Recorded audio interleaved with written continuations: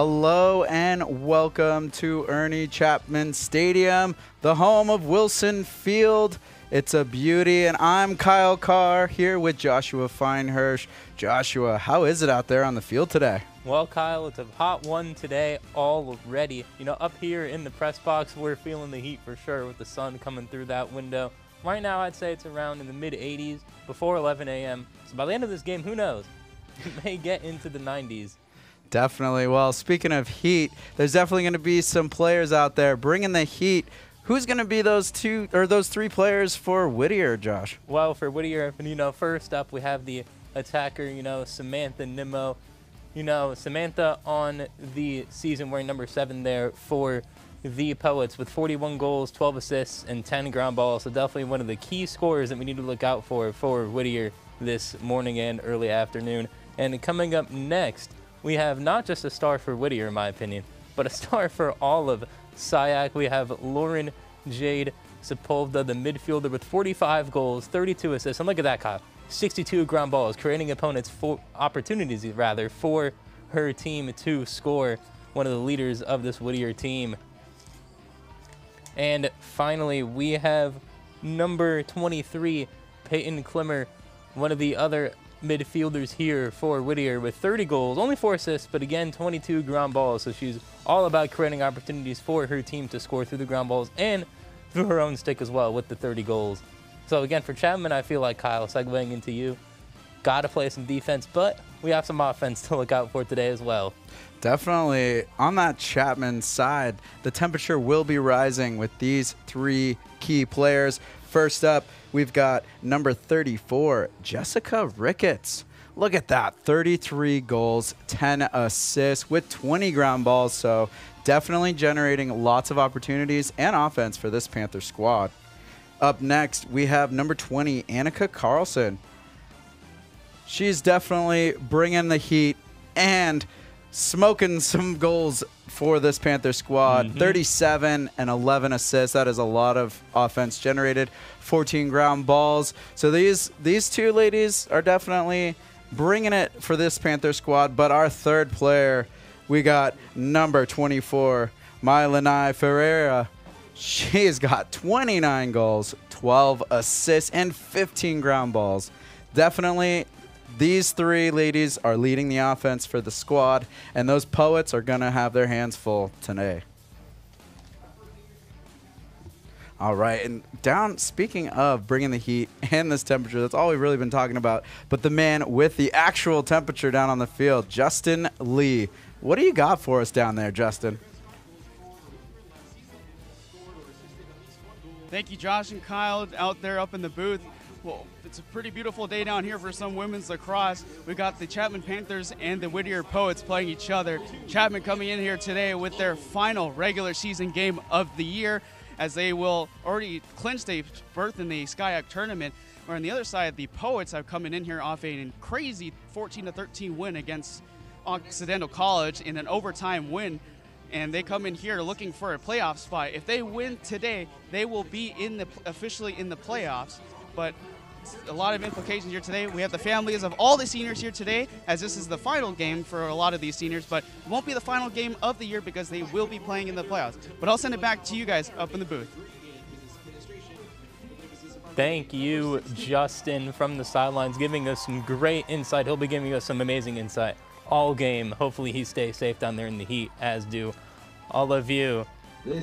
And today, it is also senior day, Kyle, for the women's lacrosse team here, as it is their final game. You know, what do you think the emotions could be like for these seniors? Although they do have playoffs coming up, so they have that to look forward to. But going out with a bang for your last game. Definitely. That last regular season game has a little bit of a twinge to it. Uh, a lot of highs, a lot of lows. Let's take it down right now as that senior night, senior day, as you will, is underway. Leilani Ferreira.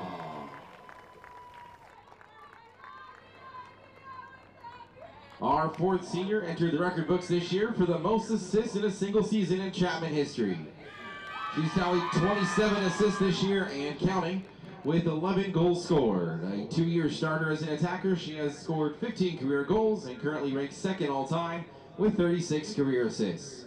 She's a five foot three attacker all the way from Sag Harbor, New York, earning her degree in commu- communication studies. Number 30, Sophia Bittis.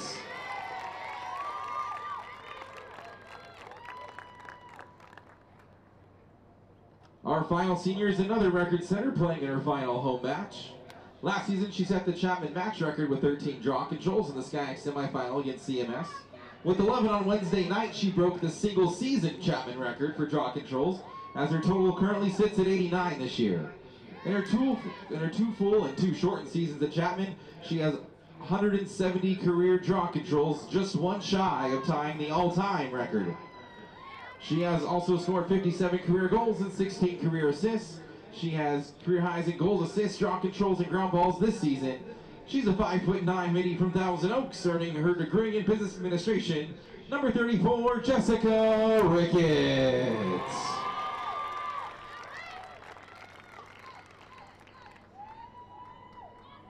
All right, ladies and gentlemen, one more time. The Chapman graduating class of 2023.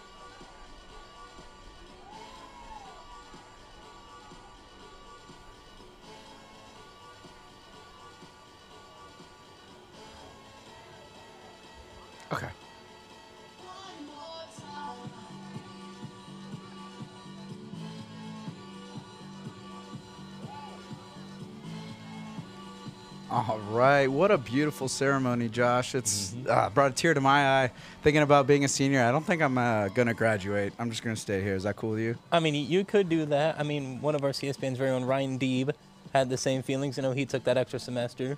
Shout out to Ryan. Hopefully, he's watching today. But we also have the SCIAC standings coming up here shortly, and Whittier is playing for a playoff berth today. Whittier is currently sitting in fifth place with an eight and seven overall record, four and six conference record, and with a win.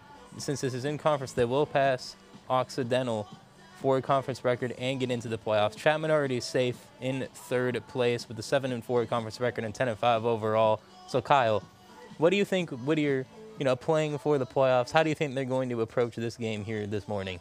Uh, there's definitely going to be some hunger. Uh, there's going to be a lot of drive coming. Uh, last time the Panthers and the Poets met on the field out there, it was very close with a 10-9 victory for the Panthers. So expect Whittier to come out, no pun intended, guns blazing with those lacrosse sticks. I definitely expect a battle. Uh, very physical play.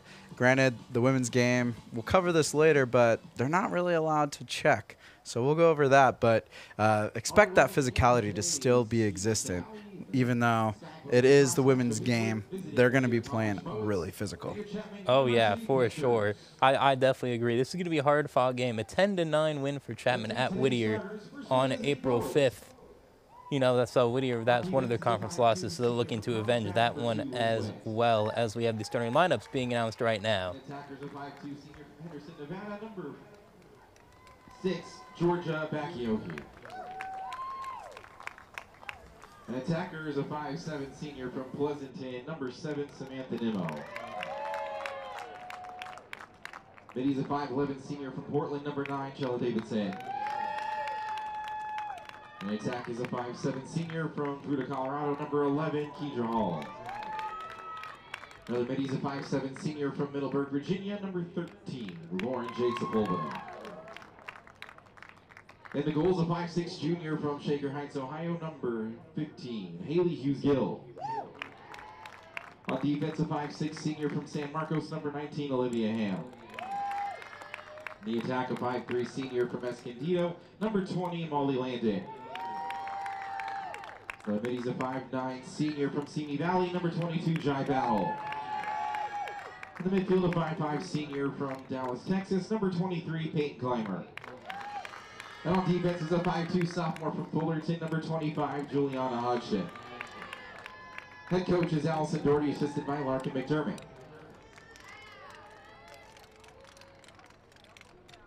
And now the starters for your Chapman University Panthers. On the attack, a 5'6 senior from West Linn, Oregon, number two, Anna Close. Another attacker, a 5'3 junior from Coronado, number three, Josie Morrissey. In the goal, a 5'3 junior from Wellesley, Massachusetts, number eight, Anna Hero. And attackers, a 5'6 sophomore from Pleasanton, number nine, Megan Guerra. On defense, a 5'4 junior from Redwood City, number 12, Sophie Pelton. Also on defense, a 5'2 sophomore from San Jose, number 14, Chloe Castanon. Another defender, a 5'9 freshman from Summit, New Jersey, number 15, Liv Huntley Robertson. Another defender, a 5'4 senior from Temecula, number 16, Sophia Lasitra. In the midfield, a 5'7 sophomore from Tiburon, number 20, Annika Carlson. Another midi, a 5'4 senior from San Ramon, number 24, Melani Ferreira. And attackers, a 5-3 senior from Sag Harbor, New York, number 30, Sophia Bittis. And a middies, a 5-9 senior from Thousand Oaks, number 34, Jessica Ricketts. Head coach of the Panthers is Dan Kirkpatrick, assisted by Nicholas Piquel.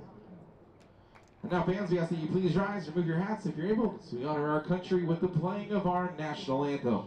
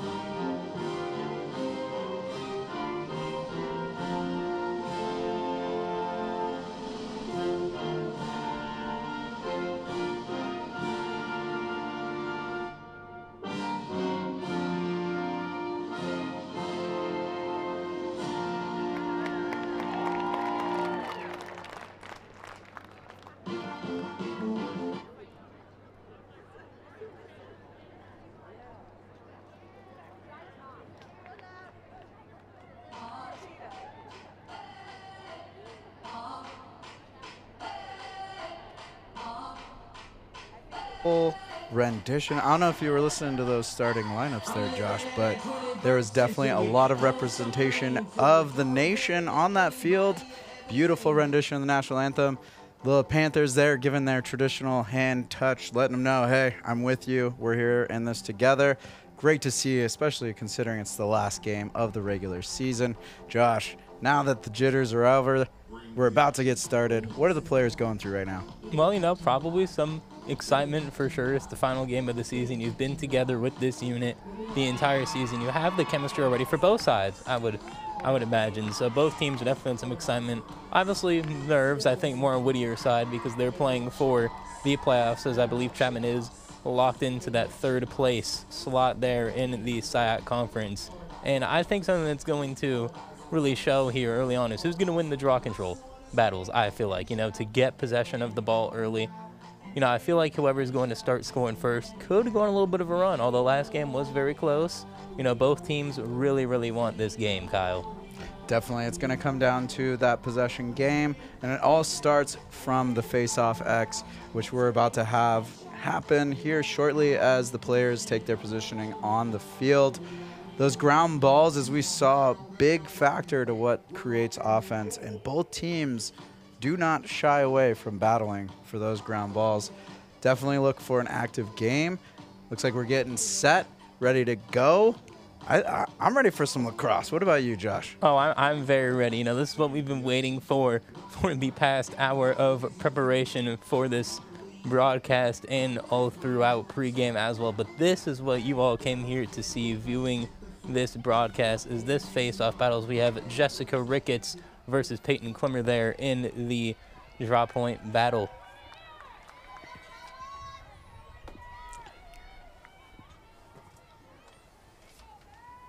as we await the ref allowing this to start here.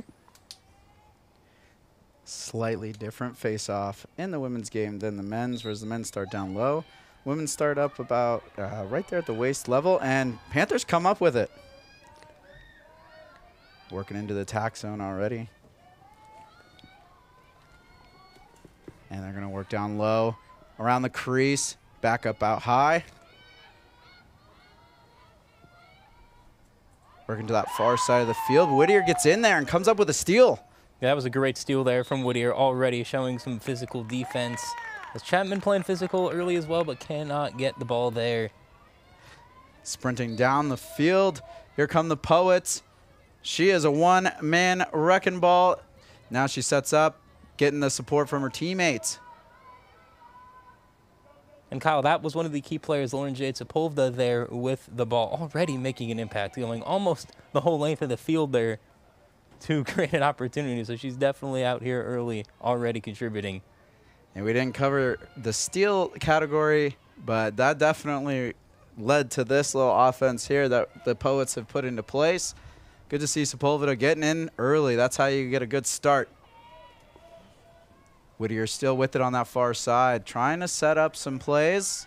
Not a lot of movement of the feet uh, away from the ball. The defense is just going to take that anytime. If you're not moving across, making us make those plays, then we'll stay right at home. First save of the game, but then it rolls in right behind her. What a we thought it was going to be a save for the Panthers, but it's a goal for the Poets. Yeah, that's just unlucky there when you're in goal. Anytime for any sport involving a goal, when that just rolls in after you've tried to have, you know, a great effort there. I believe that is number six, Georgia. Georgia there who scored. Yes, it is number six, Georgia Bowie Chochi there with that goal to take Whittier up 1-0 early on here in this game. And that's Anna Haru in net. Thought she had the save and just snuck right by her. So we're going to have another face-off here as Whittier strikes first at Wilson Field. Yeah, I said pregame, you know, whoever strikes first, you know, has that advantage as we see Coach Dan there looking on. And probably some disappointment right now, but it is still very, very early on in this game. Face-off underway. Whittier comes up with it, striking down the field. Getting her players set up. Works up to the top of the point there. Cross play into the middle the crease. Shot. It's saved. And the Panthers come up with the ball. I think that was a very important save there, Kyle, for Anna Hira in the net there. After you have that really just devastating rolled the ball that just goes right past you. How do you respond from that? You respond with the save. That's a great sign there for Chapman's defense. Good looks as the ball's moved up almost behind the, the net for the Panthers. They're going to work on this close side here. Back up to the top. Middle. Far side. No, she's going to strike down. Look at the working their feet, moving, trying to get the defense out of position. But a good pick keeps them out to the edge. Annika Carlson and Jessica Ricketts right now kind of playing, you know, catch there just outside of the goal area. She's working low, near the crease, a shot, but a save goes out wide. Panthers ball. Yeah, just missed that one there. Good, good attack though, as Melani Ferreira comes up short there on that shot as well, Kyle. You know. Chapman getting some good opportunities, but not yet converting. You know, what do you think is the main reason for that? Uh, they're they're trying to uh, uh, probe this goalie early. They're working some plays. They're getting their feet moving. I expect them to break through if they keep up this offense. It's only a matter of time through, till they break through. Probably just shooting the shot a little too early, maybe not getting the the exact angle that they're looking for, and that's kind of leading to these missed shots. Yeah, but again, you know, they're still out here. They're still with the ball again. So hopefully they can get something going here. Dead ball there. Save. Panthers trying to come up with it, but the Poets come up. They're working down middle field. I believe that was Peyton Klimmer who got that. Grandma, no, that was Lauren Jade Sepulveda again. Actually, excuse me. Outside. Edge there. Number 22. Jay Battle.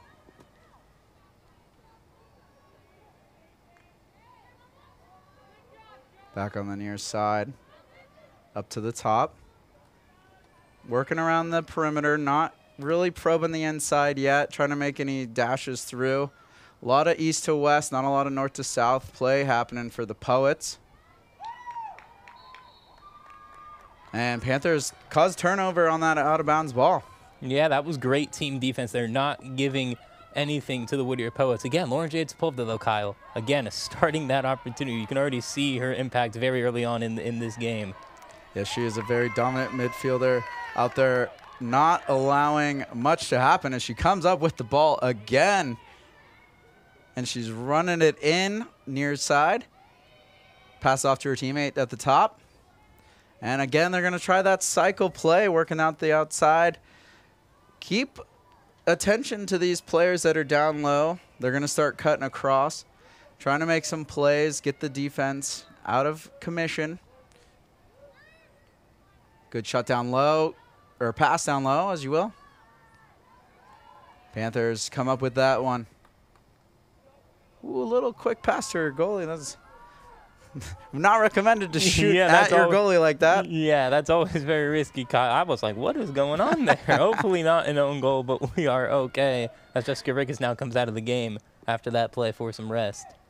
And Panthers have it on the far side in the attacking zone. Working down low behind the cage.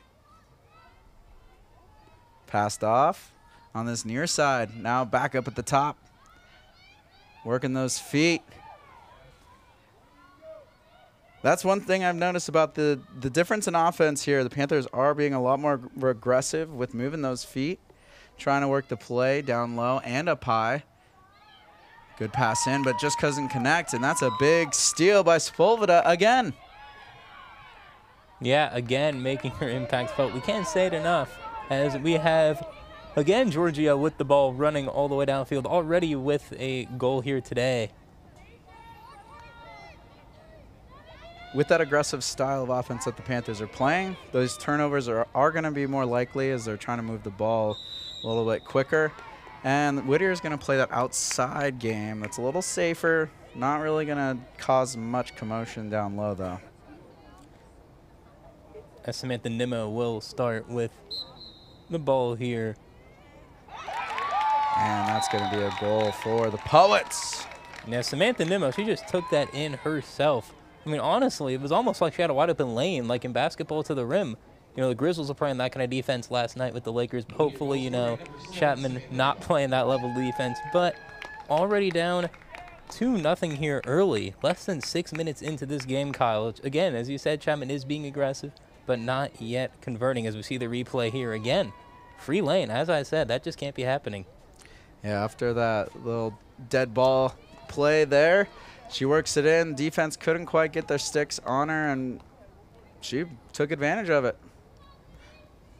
Samantha Nimmo. Looking good for the Poets. Yeah, all the key players have been looking good. Peyton Klimmer hasn't really gotten going just yet, but Lauren Jade Sepulveda. you've seen her already with those steals, ground ball pickups, and now you see Nimmo there with the goal. Face off up. Ooh, a little high stick there. Down ball. And Panthers come up with it. Work on the far side. Trying to get deep, but again, a steal by the Poets.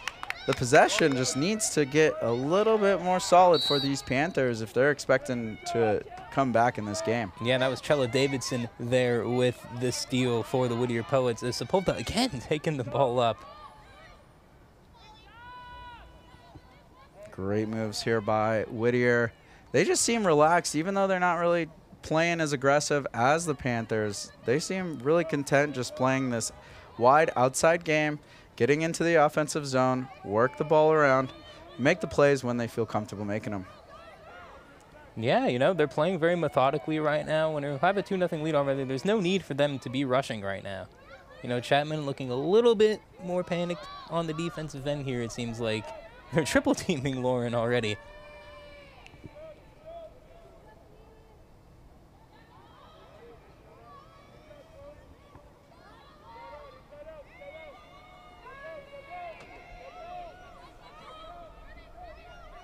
Work up to the far side. Whittier Poets in the attacking area. We're going to have a slash there. That's one of the things that's a little bit different here in the women's game. It's not as physical as we said. We have something coming up a little later where you will get more of a deep dive into that difference. But that might be impacting this game already, as we've seen some physical play already here, Kyle. And we had a big save there. That's Haru with the save. And you had Sepulveda right there at the doorstep. So definitely a breather for the Panthers as they try to break out of their defensive zone. But Whittier comes up, and after that missed pass, we're going to go back to the Panthers. Panthers have really been kind of getting lucky off of these blown whistles here so far, not making too many mistakes. Mainly just been the defense on the back end by the goal. Yeah, they're definitely trying to clean up their their turnovers in the offensive half. They're not playing too too bad. It's it is only a two nothing game. Timeout called. Looks like coach is just gonna get their heads straight, let them calm down, let them breathe, re remind them what their structure is, and play the game that they play. I think that's a very important thing to do right now, Kyle. You know, you don't want this game getting out of hand. Again, it is still early, you know. We've seen it in other games that we have covered so far this lacrosse season from both men and women where goals have been scored 5 6 at a time. So it's definitely still possible to come back here very, very early on as we see Coach Dan talking with his team. Looking calm and composed right now, wouldn't you say? Oh yeah, definitely calm and composed. It's only two nothing. There's there's nothing to get too worked up. I think you just got to remind the players to, to to work their system. They've been practicing. They've been playing this all year. They know what they need to do. Just that simple reminder and kind of take them out of the, the space that they're in right now mentally and refreshing, hitting that refresh button. Yeah, I think this is good too. Get the players hydrated as well as we see a lot of Whittier players already here getting some water. And I believe both Kyle and I now as well are going to both take a sip of our water as it's definitely getting warmer. As I want to remind all viewers to stay hydrated today, please. And if you are outside at all, please wear sunscreen. Please wear a hat. You know, it's definitely getting like summer weather here already in late April. Definitely. We are jumping from it. We went from about 50 to 60 degree weather to a quick 80 degree weather that will catch you by surprise. I know I got burnt the other weekend. Didn't even think about sunscreen. That was on me. But I guarantee these ladies, they're professionals. They all have sunscreen on down there, and they are hydrating away. Ready to come back into this game are the Panthers. Whittier sitting on a nice two goal lead. What do you think their coach is telling them? Telling them to stay aggressive. That's what it kind of seems like based off of this huddle, what we can see. The coach is really getting in there, clapping saying, hey, listen, we have a nice start, but it can all evaporate at any moment. You know, still very early. Not even 10 minutes have gone by in this game. Although, again, a great start. But I will say as well, defense hasn't necessarily been tested. Yes, they've gotten in there, but they've done a very good job. They haven't really been stressed at all. You know, both of the shots that, you know, Chapman got on goal were a little bit far off. So, you know, the goalie did not really have to save them yet. And in goal, we have Haley Hughes Gill there for Whittier. So uh, it'll be interesting to see how she reacts potentially to I would assume is probably going to be very aggressive Chapman possession here right now. Oh yeah, coming off that timeout, they are going to be hitting Hughes hot at the net. And Panthers are going to work down low behind the cage up to this near side. Now they're back at the top, trying to shake him off. Looking for that passing lane. Now she's going to cycle out. Tried to get in, but the Whittier defense not fooled. Another pick play. Shot. Ah, just wide. Panthers are the first ones there, though, and they're going to take this ball back in. They're not hesitating. Out to the near side. Deep in. She's in the slot low, dangerous area, but Whittier attacking her.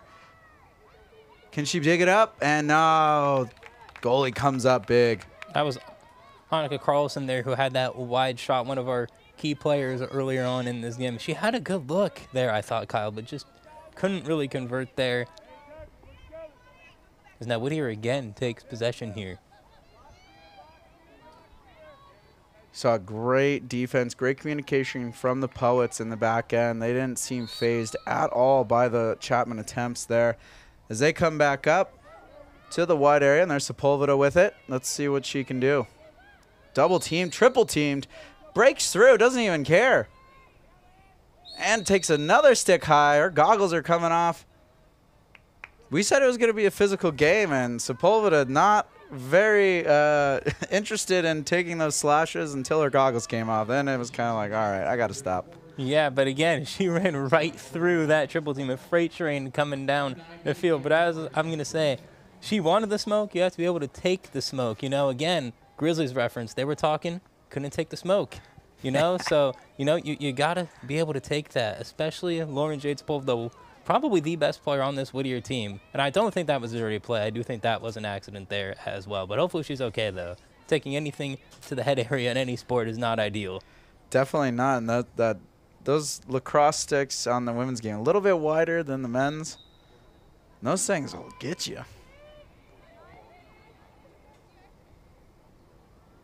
Now Poets have it below the cage. Trying to break free, a little double team, and there's a clear check. That's going to be a penalty because Yep. you can't do that here in the ladies' game. And that was on Peyton Klimmer there, and that penalty for Chapman will be on Sophie Pelton there. You know, that's just a lapse of judgment there, in my opinion. The stick to the head, that's, you know, an action play. That's where you're going for the ball there. But it, but the check, come on, we, we can't be doing that, especially this early in, in the game. That might be out of frustration there. Yeah, I think that was a frustration play. Coming up at this heat, you know, they're down two nothing. They can't they can't get anything going. She's just trying to make her presence known and let the poets know that this isn't going to be an easy one. Penalty or not, that body she's going to think twice before she goes around the net again. Sepulveda again at the top. She passes it off, but receives it right back. Works around to Davidson. Yeah, Peyton Klimmer so far, something I know, she's kind of been more behind the goal, kind of been more of a facilitator here so far. She does only have four assists on the season, but hey, maybe today they were coming in trying to have her be a facilitator, throw Chapman off here. Davidson down, worked around behind the net, down in the deep, and it's a going to be a goal. I thought I heard a whistle before the goal went in, so let's see what happens here. I thought so too, and now is Georgia Bitoshi there again. Number six has two goals here already for Whittier. If this stands, and it will not stand, as they will start off again with the ball. Dead ball here on that. And big save. All right, after the late goal was scored after the whistle, that does not count, and they get the drop ball. But then Whittier comes back and scores. Yeah, that was you know great heads up play there. I believe Georgia again had that steal. Anna uh, with the great save there in goal, but that was Peyton Klimmer, key player, coming out. Oh no, that was Yeah, Samantha Nimmo. Nimmo. Appar- I thought that was Klimmer with the ball there, but she might have passed that off last second. But again, two key players working together. The key players having a great impact for Whittier already.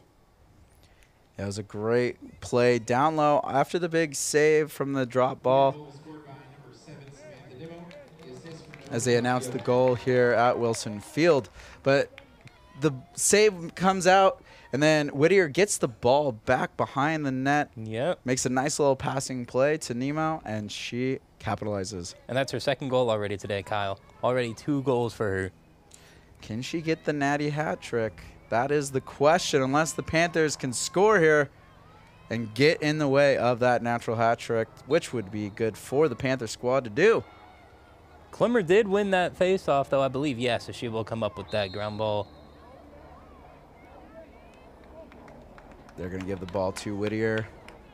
No penalty there. Just uh, reset as Whittier has it at the top of the crease area.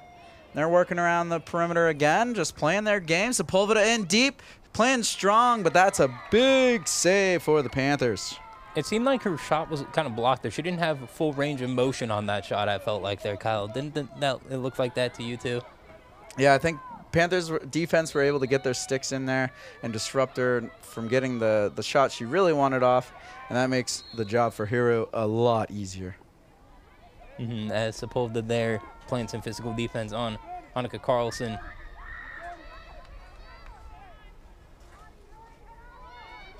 Panthers trying to bring it in from the defensive half of the field. Can they get past this midway point as Whittier clogging up the middle zone? Finally, some passing plays. Get it down low. Jessica Ricketts with it on that far side, but passes it off. And now we're back below the cage. Coming to the near side. Carrying. Looking for a pass. Doesn't see it. Button hooks back. Pass it off. She goes to probe in, but doesn't see anything. Back up high is the ball. Now on that far side. Working that lane. Trying to probe in. That's Ricketts. And there's a shot and a save. I thought, did that go in or was that a save? It No, looked like she had the dunk on her.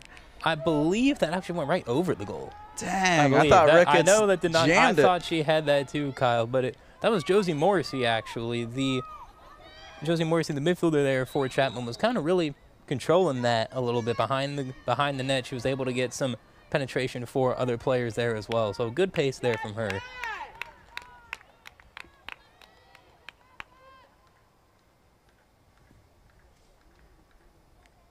Change up of the lines here for both teams. Trying to get some fresh legs and some cooled off legs. Oh yes, yes, that is definitely very important here, as both sidelines might add directly in the sun. No shade here for the players. No, Wilson Field is all about roasting out there. It's Southern California. We're supposed to be out in the sun, right? Yes, definitely, definitely true. But you know, again, hopefully everyone out there is staying hydrated. Hydration is key, as they say. As Whittier again working the ball on the outside perimeter. They're on this near side now, kind of near the cage, but Panthers come up with the steal. They're trying to exit.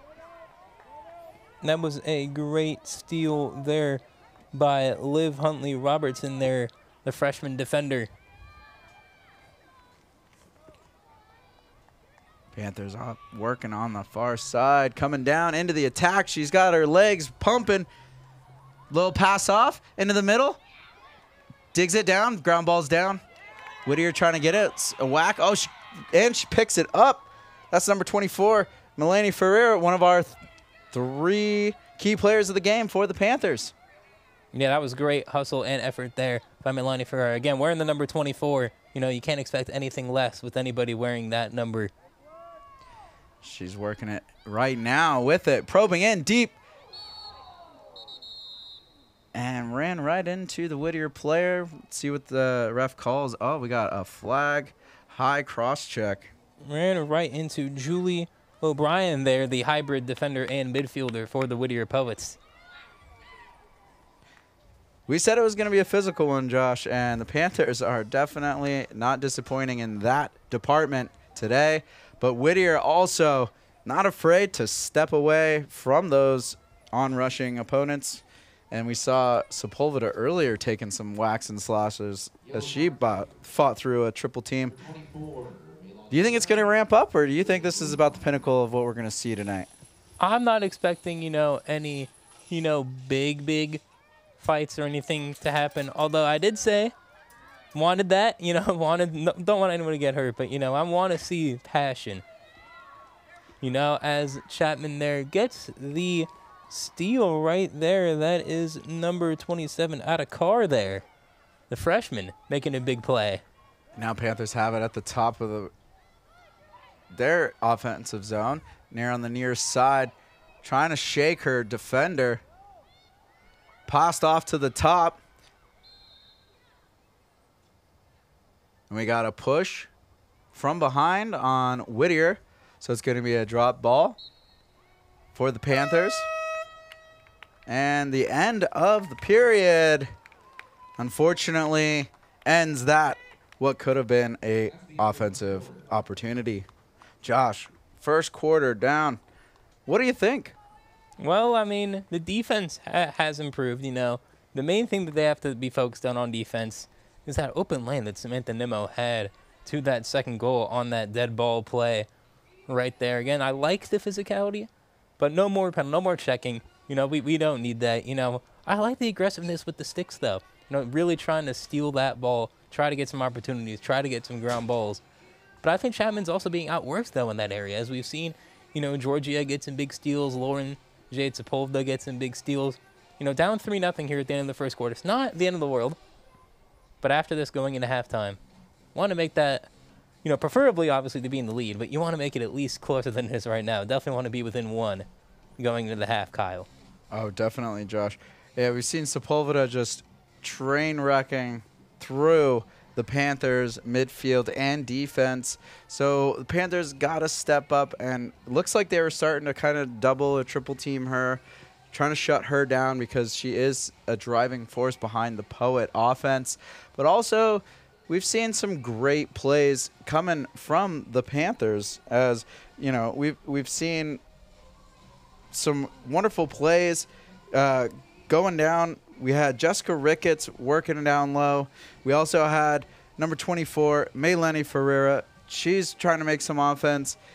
They just can't get into the net. What do they need to change when it comes to their offensive ap- approach, Josh? Well, I think maybe some different movements. You know, they kind of had some a lot of the same movements on their players. A lot of the same players like Ricketts, Carlson controlling the ball, which is great.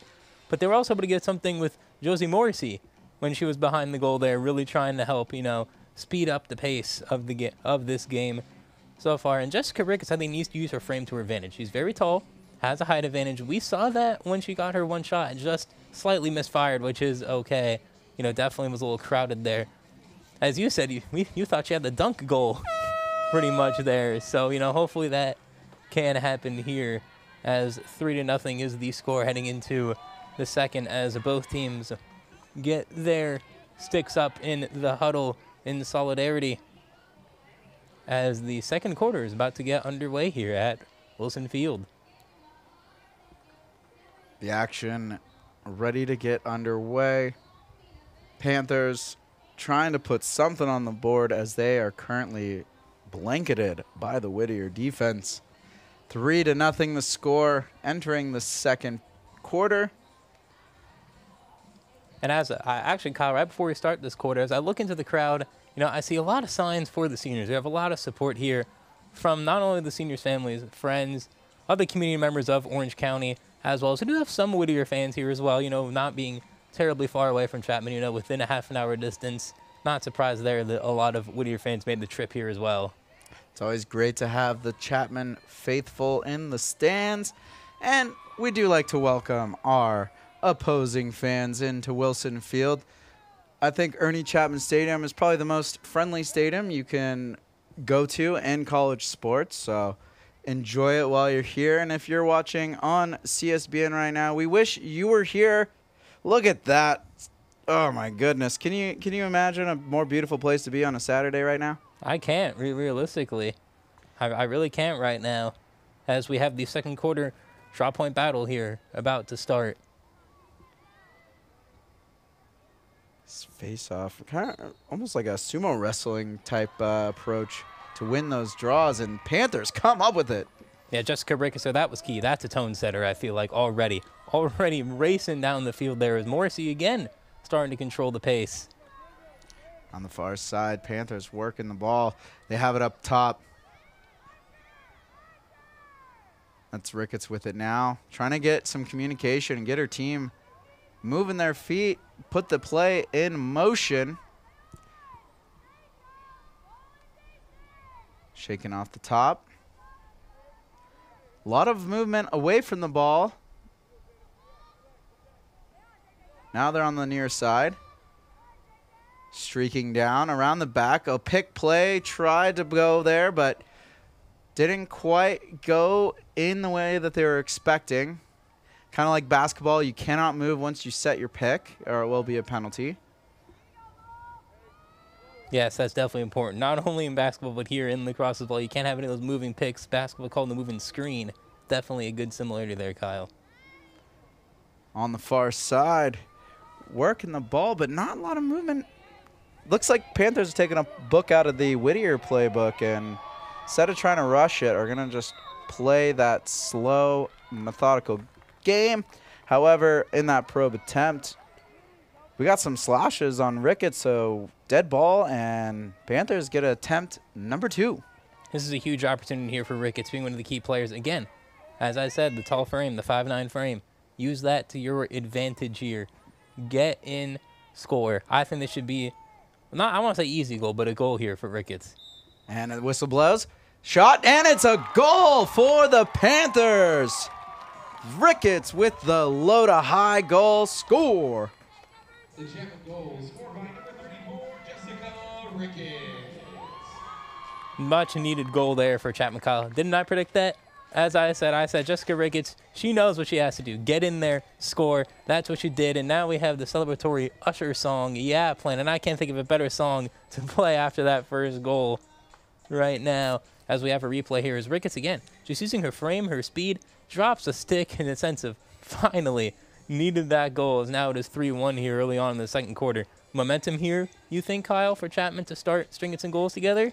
I think that is exactly what just happened. That was the icebreaker. Ricketts has entered the jungle. Face off coming.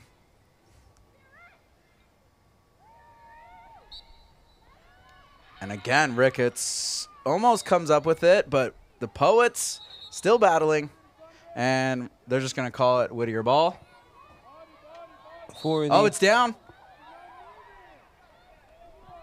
Uh, refs considering the play not started yet. So Whittier gets to a try again as Davidson has it. That was Molly Landon who came up with that with that ball early on for Whittier. And she has it again here. Davidson around to that far side, working the goal line. Into the middle. Oh, and it's a misfire for the Poets, but they get to it first, so they're going to bring it back into play. That was Lauren Jade Sepulveda there, Kyle, with that misfire. While she's been very, very active defensively, pushing the pace, hasn't been able to get anything to go into that net yet, which is key. Because if she gets one, maybe not the only one today. So definitely key to hold her. But she does have the dead ball opportunity here. Tried to go for a pass there instead of a shot. And the Panthers were keen to that play as now they're applying the pressure as Whittier works the near side. Back up high, it's down. Panthers try to come up with the steal, but the Poets keep possession. Up high, little cross, a little change. Back outside. Down low, into the middle. Watch that shot, and it goes wide. Panthers trying to dig it up, and they rake it. Oh, down into the crease, down in the crease for the goalie. You see how she worked it and placed it there for the goalie. Basically, that is a automatic clearing of the crease, so the goaltender gets to pick up the ball, and the attacking players have to get out of that area. That's a opportunity for the Panthers as they work the far side, and they're sprinting down, coming in hot, streaking. went a little west instead of north to south. Down, Ricketts fighting for it. And they're going to call a dead ball here for Ricketts. Yeah, that was some great hustle there. That was Molly Landon who was kind of checking Melanie Ferreira as she was going down the field there. Is this another dead ball opportunity for Ricketts? We saw her get an easy goal here. This could be a second easy goal. Make it 3-2 here early on in, in the second quarter. Waiting for that whistle. It goes. And shot. Oh, just over. Panthers first to it. They're going to quickly bring it back into play. That is Sophie Bittis there, one of the seniors who was honored tonight, today, excuse me, behind the net. Working down the middle, through the center, and we've got uh, dead ball for her. Too many sloshes, and free ball for the Panthers here. This is Annika Carlson here with the dead ball attempt. Annika Carlson prides herself very much on having strong and consistent performances. You definitely have to be strong as she scores. Much needed goal there for the Panthers. 3 2 here already early for the Panthers in the second quarter. Outscoring Whittier 2 to nothing here. Less than a minute, Kyle. Scoring very fast here. Annika Carlson, the sophomore for Chapman. Although Chapman's yet to get anything going in open play so Yeah. far, which is a little bit concerning. But, you know, hey, two goals when you're down 3 nothing and two goals. But that's something to keep a note of as this quarter goes on and in the second half. Look as she drives through. Looks like she's going to shoot low. Fakes out the goaltender and goes high just over the shoulder. The only thing that I can say about that dead ball is it was after the Panthers probed the middle. They go in hard. They're not afraid to attack those danger areas and get those dead balls. And that's what's leading to scoring. So if it's going to give you those opportunities, do what you got to do. But it would be nice to see the Panthers create some offense off of a regular open play. Yes. But Whittier streaking down. And that was Lise Mayer in the face-off there rather than Jessica Ricketts. Ricketts, I believe, is getting a quick rest right now. Yes, so she is. Putting the water bottle down, talking to coach, getting a breather, strategizing.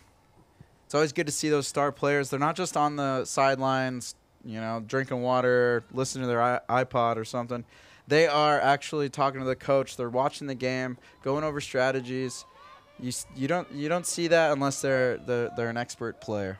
That's very true, very true. But I will say, Kyle, I don't know if anyone's listening to their iPods anymore, man. I, you know, I was thinking iPad and iPod came out, and it was just what I just, you know, I went with it. Hey, it's I okay. It's it. okay. I'm sure everyone watching here has some great iPod memories from back in the day. Don't want to age myself too much, but my first one was an iPod Mini, so just let that uh, sink in and figure out when those came out. Meanwhile, we got Whittier with the ball on the far side. Now, near the midfield, working down. Now to the top, back to the far side. Whittier loves to play this perimeter game. It can lull a defense asleep, and quickly you can attack the middle if, if everyone gets flat footed, but it also doesn't really generate too much. That is why it is only a 3 2 game. Right, and that was Olivia Ning there taking that hit as she will start off this Chapman possession. Nobody in the box for either team. Just a change of possession play. Up, Panthers have it on the near side. Carrying down low, pick play, but read that one, and she works way outside and below. Now it's on the far side, passed off. We got a whistle here.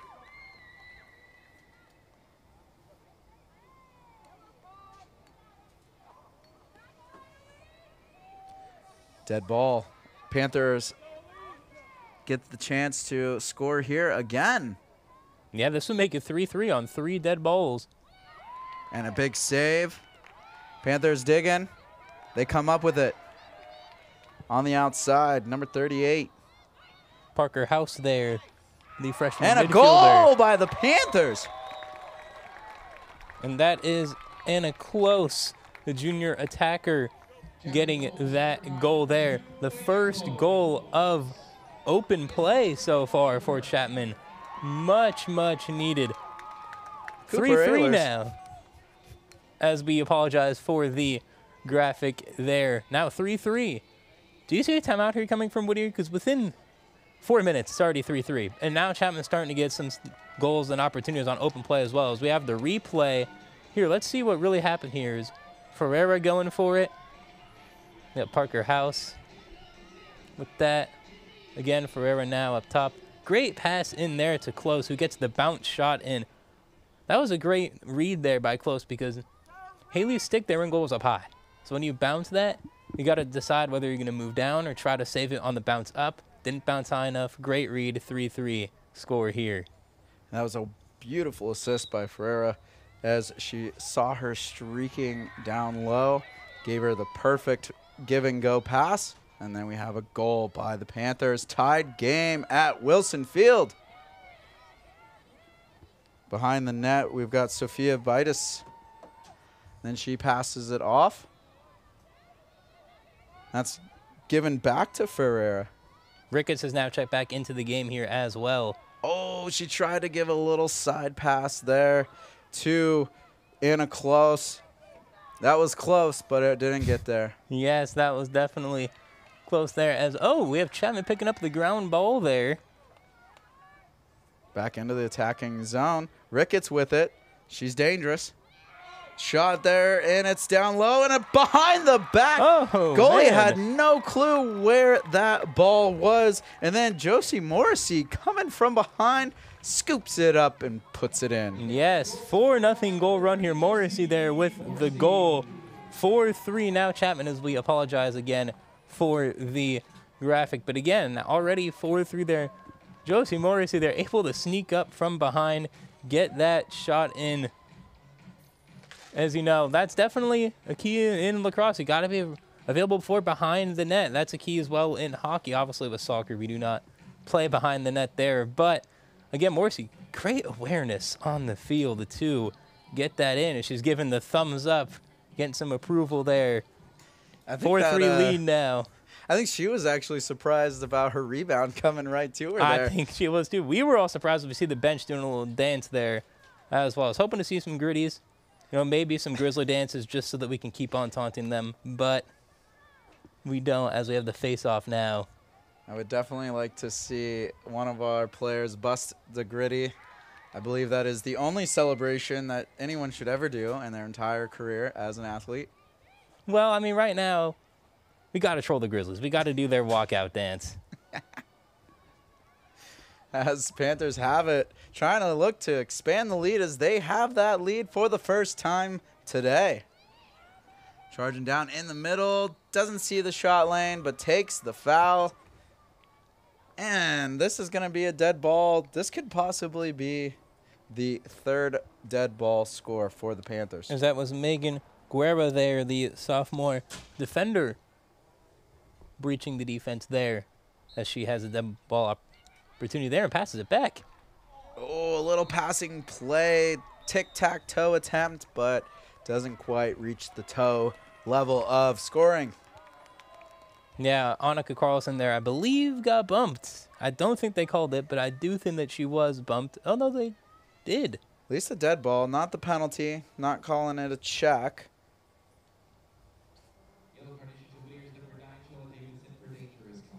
Oh no, they did call the check, so we got a power play here, attempt four. As. Bittis is going to start. No, that's not Bittis. Sorry, that is Annika Carlson there. My bad. We'll start with the ball. Waiting for the whistle, it goes. Passed off. Coming in deep. She takes it all by herself and scores for the Panthers. And that is Megan Guerra, the defender. Not very often that we see defenders score goals here in lacrosse. 5 3 now, Chapman with their second, excuse me, their third open play goal now. Now Chapman's starting to get the open play going. And the assist by Annika Carlson as we have our PA announcer and sports information director Stephen Olveda announce here at Wilson Field again now. 5-3 Chapman. No timeout yet from Whittier. Are you surprised? As we have a replay here before you answer that as Guerra just took it right in, right over three defenders there to the right side of the net. I, you know, I. It's surprising to see that Whittier hasn't slowed down the game with a timeout, especially after taking a penalty like that. You'd think you're gonna see something, but maybe uh, one more, then we'll see a whistle. But looks like Mhm. coach for the Poets is just trying to make sure the ladies play their game, and uh, maybe she doesn't think it's completely out of their control yet. Yeah, and Kyle, right now, as we just heard in the stadium, scoring these goals right now is easy as one, two, three for the Panthers. Little ABC, one, two, three. Ricketts with it. She passed it off over to that far side. Now it's at the top of the key again. Back to Ricketts. I think Chapman's starting to smell the potential game here, like a potential maybe knockout punch. I'm not going to say it yet. It's still very early, but I think Chapman has Whittier right where they want him. They are definitely feeling it. The momentum has shifted in this one in the Panthers' favor as they have scored five goals in this second period alone. Ricketts with it in the middle, taking off some defense. And a low shot, but big save there for the Whittier Poets. Yeah, I get I get what Morrissey was trying to do there, but I think there was no need to rush that shot. You're up five three. You know, you want to get that sixth goal, obviously, but again, no need to rush. You could have passed it out for a better shot opportunity there. That's Haley Hughes Gill in net for the Poets. That save's probably going to help create a little bit of momentum shift for the Poets as there's been pretty much nothing that hasn't gone in for the Panthers in the last 10 minutes. Yeah, and also key for Haley's confidence as well. She's given up five goals in under 10 minutes here. So definitely need that confidence to come back as well. Whittier working the ball in. Shot attempt. It's low on the ground, but save. Possible dead ball, though. Hey, that's okay. You'll you'll take that, you know? Inahira in net again. Had a rough first quarter, but this second quarter, nothing's really happened. So I can't really say that she's been dominant. But hey, she was asked to step up there. She did. See if she can be the Panther hero today. Big save there off the shot. Looked like it was going to go high, but shot low, and she was quick to read that one. That Big was- save. Yeah, that was a great play there. Fast stick movement there. That was the key. The stick movement, boom, right on point. Able to track that one down. We got some sticks down. Is this going to be a timeout? And there's that timeout you've been looking for, Josh. Finally, after that big save off the drop ball, looks like coach has seen enough and needs to get her ladies a rest. Yeah, I think that's much needed too. Just to give them, you know, kind of a, a talk here. As you know, the strategy really working in the first, not working here. But we do have a replay of the save here. And that did bounce first. But again, though, the stick was there as for Hira not having the height that Haley has, you know, going for the lower option on the save, which I think was the smart idea here as definitely the Whittier coach look a little more animated now, trying to really relay that message to her players. We got coach here for the Panthers telling the ladies, hey, you're playing your game. We've got them where we want them. We're playing our structure. Looks like he's talking about stick control, positive stick control, because that, as we've seen here, some of the bigger mistakes and leading up to these scoring opportunities has been stick fouls. Yeah, So- yeah, you know, the stick fouls were early. The check by Ferreira was early, but ever since then, much more calm, cool, and collected. I think maybe it was just the senior day got getting to them wanting to win because a lot of the family members are here. Some of them, you know, from out of state, even all the way across the country. You know, here as I believe we do have We have someone from Massachusetts on the team. I, in I New York that. from Sag Harbor, New York. So again, I saw that there were some family members with her during her introduction, as well that of Sophie Bittis representing New York. So We have got all coast to coast coverage here at Wilson Field. Yes, as we can see the seniors there, Bittis, Lasitra, Close, Melanie Ferreira, and Jessica Ricketts. As we have a lot of sun hats here in the stands. Definitely a good move for today. Oh, yeah. Ironically, uh, the shade here at Wilson Field is on the other side where not a lot of the fans sit. The, the, the sun is a lot more uh, Yeah. in the face of the fans right now. I'm very surprised no one is moving over. I mean, if that was me, yeah, you'll get a whole section almost to yourself as well. You know, you can relax a little bit more. Right? Really get in there and get some cheers going on the other Oh, side. yeah. That would open things up. As this game here will resume with 5:26 left in the second quarter, 5-3 lead for Chapman. Ball's back in play as Whittier has the ball behind the cage, trying to probe into the middle. Big bouncing ball, and the Panthers come up with it. Yeah, that is number 15, Liv Huntley Robin, Robinson there, Robertson, excuse me, picking that one up.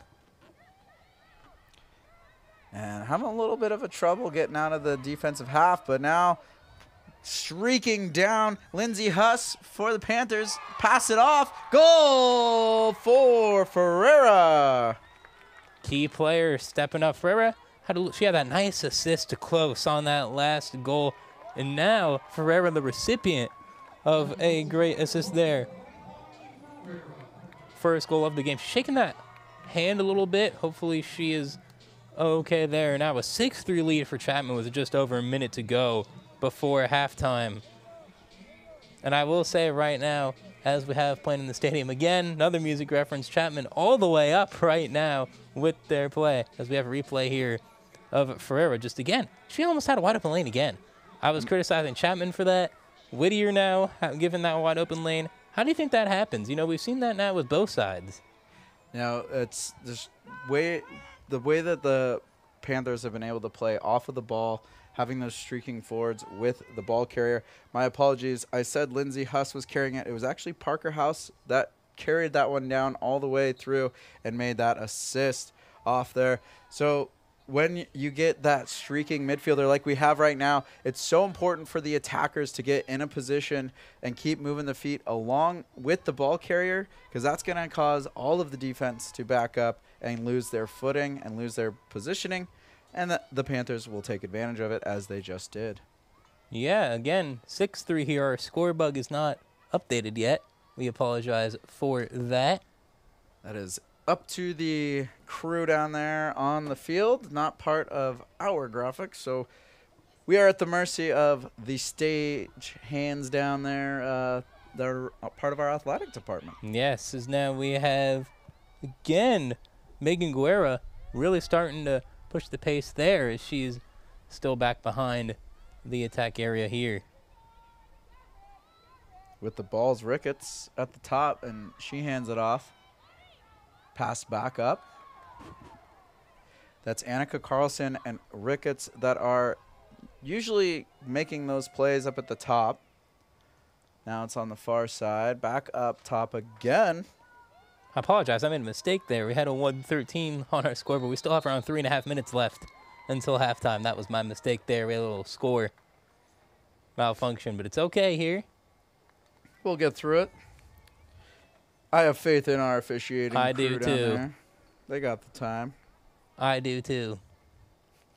As I believe, what do we have happening here? Is this another dead ball? It looks like it. ball, yes, as Guerra has it.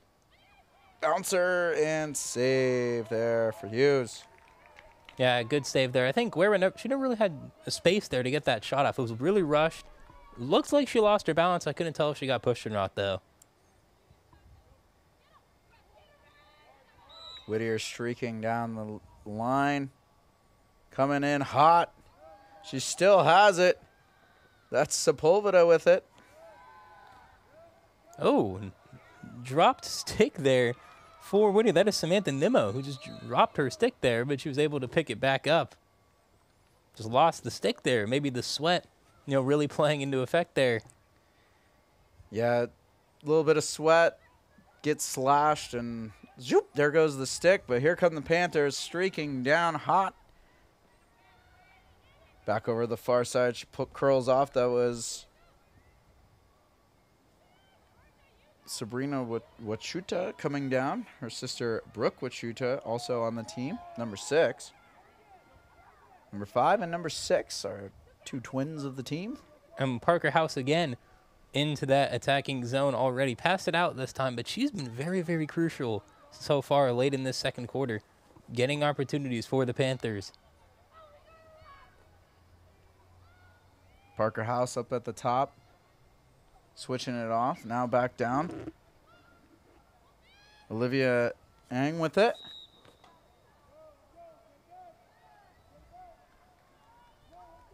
Ball's down. They're going to give it to Whittier. It's Hughes Gill getting this ball back into play. Trying to stand strong in net for her poets.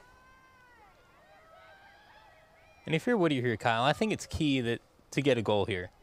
Now, you know, we are we're Chapman Sports Podcast but we got to talk about it from a Whittier fan perspective here as well. You know, you have that great first quarter. Second quarter is not going the way that you want. You know, a goal here gets that momentum back. Yeah, Whittier needs to put on the brakes on this Panther train rolling down the tracks. We'll see what they can do here. Slow down the game. Play that outside perimeter like they were in the first period. It's just so interesting how a little bit of control can get either offensive creating or it can completely slow you down and kind of put you in a grind. Whereas those you try to rush it and those plays just don't come together. Just like that, a little bit of a rush pass into the middle. However, we got a dead ball for the Poets. Yeah, although Molly Landon there, she kind of did a little spin pass out of that. She's trying to put some pizzazz on that, but that did not prevail there. Ooh, big save by Hura. Again, Landon putting some power on that swing. I think she wanted to try to overpower Hira there in goal, as she already saw that she has fast stick movement. Try to overpower with speed of the actual ball. Passed up. Panthers entering the attacking half on the near side. Pass down low. Working in big cross pass there. That was almost the whole field width. as we have 15 seconds left here in the first half. Let's see if Chapman can get off a buzzer beater here to end it. Seven seconds left. Working up at the top. Shot. It's bounced. Oh, it's at the feet of Hughes Gill. And she's going to let the buzzer go. Yes. And our first half is completed. Yes, as we now have a 6 3 score at halftime here for the Chapman Panthers. Kyle, what do you think were some of the main keys of the first half there? Well, the way that the Whittier Poets attacked the game at the beginning in the first quarter definitely helped give them that lead. They were a lot more patient with the way that they they played their offense. They weren't um, too too keen on probing into the middle, cutting through. They were playing around more on that outside perimeter, but with that patience came some goals. Whereas Panthers, I felt were squeezing the stick a little too hard in the first quarter, but second quarter completely changed, Josh. Yeah, yeah, you're very much right about that. Chapman really able to get the open play going. They had the two dead ball goals early, within the first minute actually, which really helped them come back, make it 3-2, and then open play with Ferreira, Ricketts, Carlson, Morrissey, and Parker House as well later on in that second quarter, really, really getting it going as now they lead 6-3 here at halftime. And if you're Whittier, what adjustments do you think are going to be made?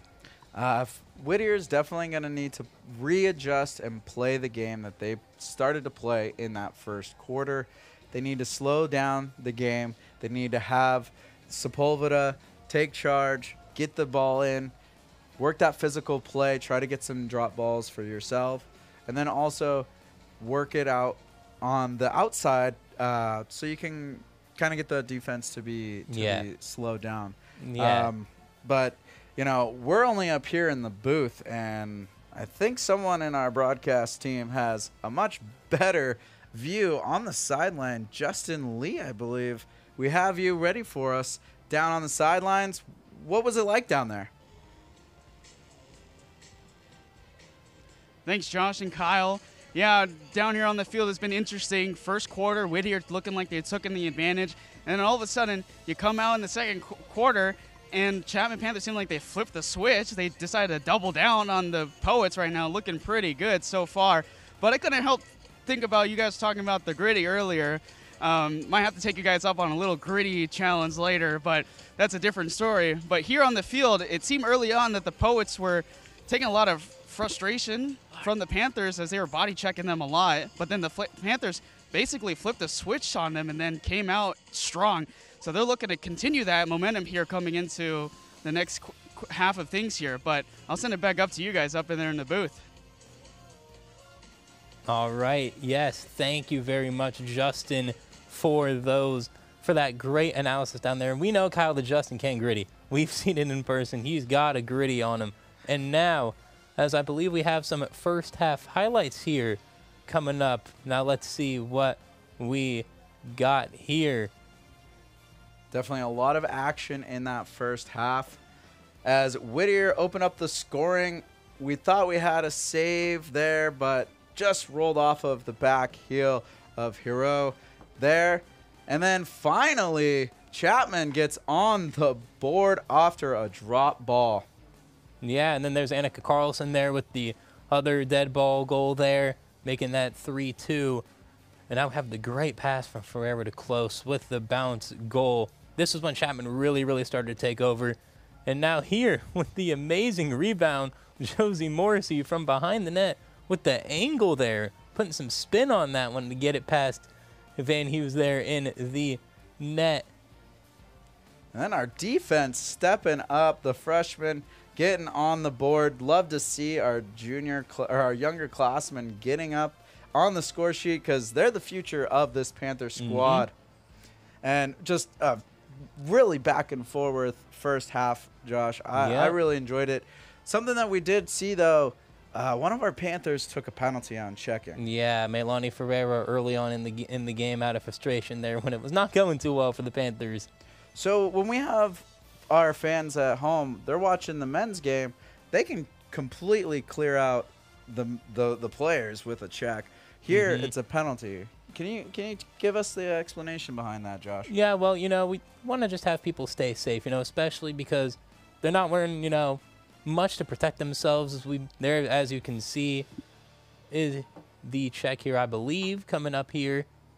That was one of the checks, a different check, not the check that we were talking about, but that's definitely something that you cannot do. as there's no protective gear back there, so you, know, you can't just be doing that. And I believe we have an example, as Kyle here, we have our own handy dandy lacrosse stick Yeah.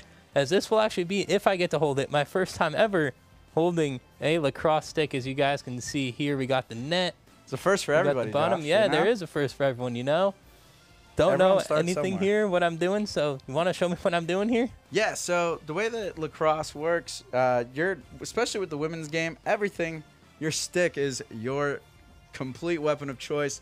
You can jab at them, you can try to poke at them, but you cannot slash from above. That's Mhm. definitely where we're getting a lot of these drop balls, these whacks from above, or the pushes from behind. With the men's game, you can have a check. So uh, they're gonna come up, say a player, you're gonna angle off. You want your you're, you're trying to use angles. That's what checking really is. It's using angles and your body to separate the player from the ball, right? Or in hockey, the puck. So if you're coming at me and I'm trying to read your angle, say you're offense, you're coming at me as a defender on the men's side, I can check him and come through. As long as I'm not hitting high and I'm not hitting in the like into his hip area, you're, you're able to check. On the women's game, that is a no go, Josh. That is a no go. Only stick checking is allowed. Yeah, so that's again, what led to that. Yeah, and I can definitely you know when you don't have any force behind, it doesn't feel that bad. But if you have force behind that, I could definitely see why, especially because that ending I believe is metal there too. Oh yeah, that's pure metal. And if you're thinking someone's running as fast as they can, Oh, and, yeah. you know, an unmovable object hits an uh, or unstoppable force, that's definitely gonna hurt. And when you're not wearing a helmet or protective gear, that is concussion worthy right there. yeah, there. we saw uh, Lauren Jade Sepulveda get hit early in the head. She was okay, but that was something that I was very concerned about, potentially getting that head injury there as well. Definitely. And well, as we move on, we're gonna take a little break here, and um, we're gonna have a wonderful uh, break here. We're gonna get excited for the 2nd half. I'm already excited, Kyle. I, I can't know. wait. I'm excited. Josh, I'm Kyle Carr. This is Joshua Feinhersh, CSBN. Second half action heading your way.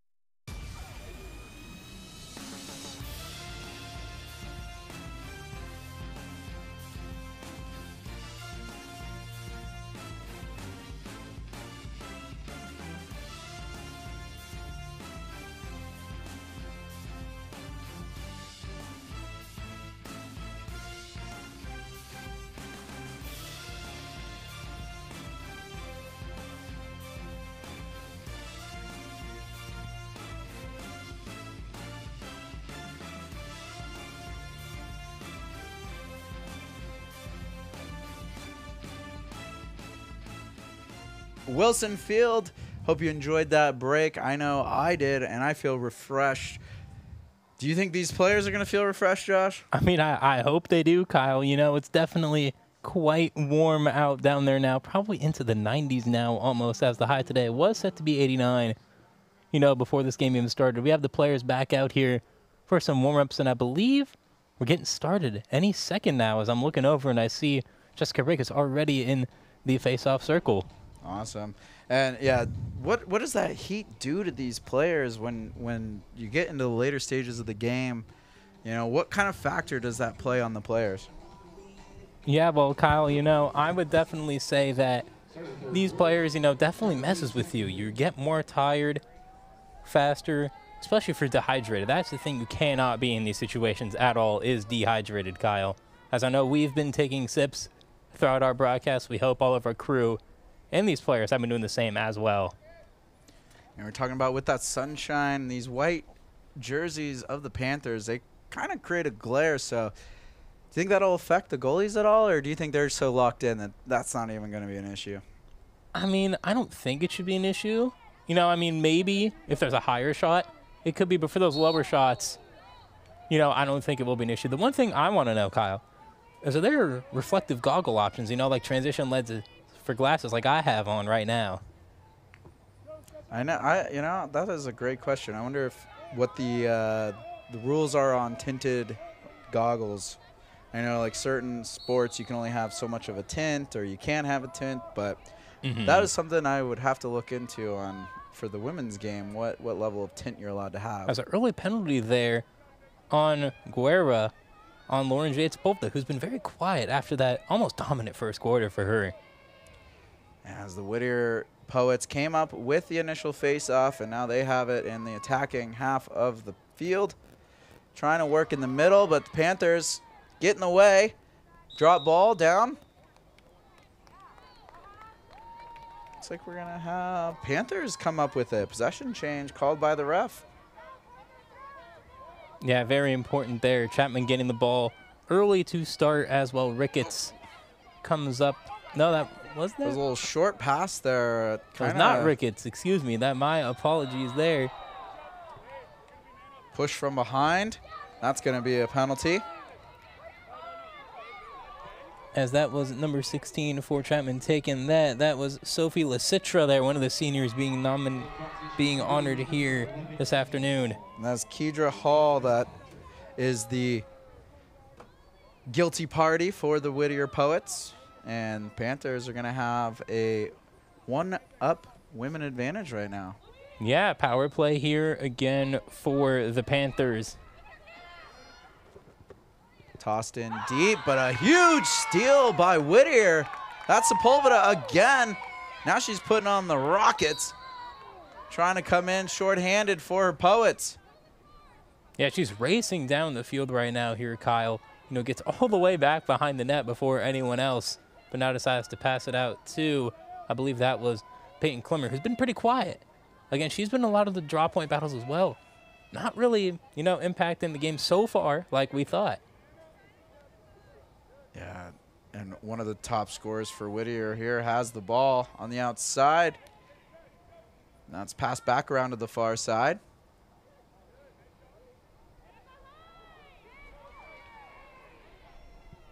Down low, working the goal line, coming in.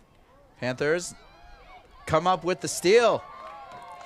Now, even though Whittier doesn't score on that offensive opportunity, they did kill a lot of time on that power play.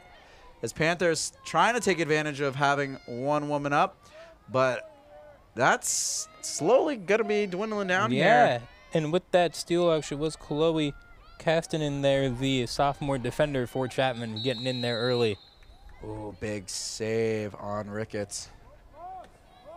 Yeah, that was a big save there for Haley in goal. You know, you don't want to give up another easy, well, not easy goal, but a quick goal. You know, in the second quarter, less than three minutes gone by, all still 6-3. So again, if you're Whittier, defense already improved. You know, haven't had as many dead ball opportunities for Chapman. Hughes Gill's going to get this one back into play. She still has it down at the goal.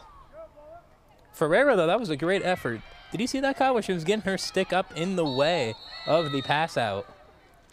Yeah, there's a lot of pressure on Hughes Gill. They weren't really giving her any passing lanes. That's what took so long for the ball to get back up into play. Goggles on the ground.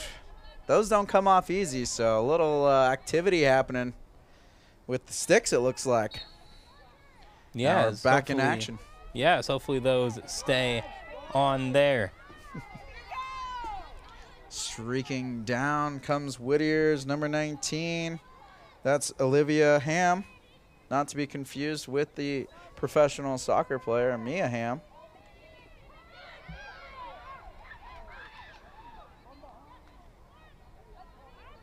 Whittier battling. Panthers giving him a hard time. Sepulveda, as we've seen before, she's not afraid to take a whack or two. Yeah, she tries to get in. Yeah, Ricketts had the ball for a second there too. I thought she was able to come up with that steal, but she was unable to there. As Whittier still has a great opportunity here to score with Peyton Klimmer behind the net. Oh, she shakes and shimmies some Panthers off. She almost got triple, quadruple teamed. And we're going to have a dead ball. Yeah, you don't want this if you're Chapman here early. You have a great second quarter.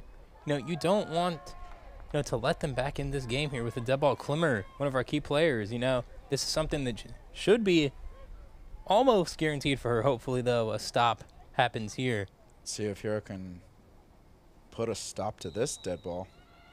Coming from the side. Big save, but a streaking defender comes in. That was See, Liv. there's going to be a penalty here. Yeah, that was Liv Huntley Roberts in there. As Klimmer comes up a little bit shaken up there. I think she will be okay. Yeah, we're going to have a cross check here. Call assessed on the Panthers. Yeah, that was Liv Robertson as we just said, you know, definitely not something you want to see again, checking early in the second half. You know, I was we were saying during our halftime segment that we thought the nerves were out for Chapman, that they were feeling very, very comfortable and confident. But that may not be the case here so far. So they're going to be a woman up on the Whittier side. Also a dead ball opportunity. So this could make things interesting if Whittier can close the gap on these Panthers. As Klimmer again is going to take this one to start.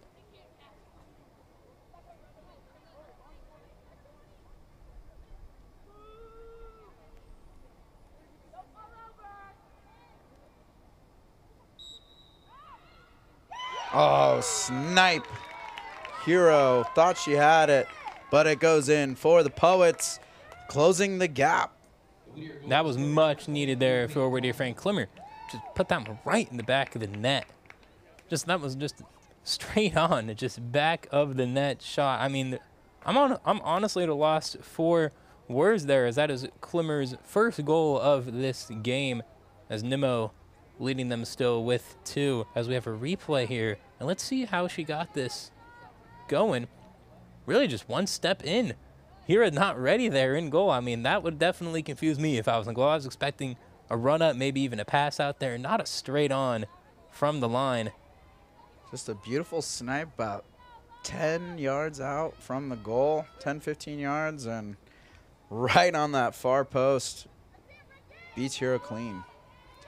Face off to start this one. Yes, says we'll be able to give you those references as you guys can probably tell watching. We are playing on the Chapman football field here, so we'll be able to give you some pretty accurate measurements here when you say Kyle of distance in yards here. That is one of the convenient things about having a multi-sport field. A lot of markings out there, but helps us with the measurements, kind of get a feel of just how big the lacrosse field is. Yes, they are using basically end zone to end zone here. So the same dimensions as the football field, including a little more past the sidelines. Panthers working in the attacking zone, trying to work the perimeter. Whittier finally stops the train run, running down the tracks. But can the Panthers get the momentum back and increase that lead back to three goals?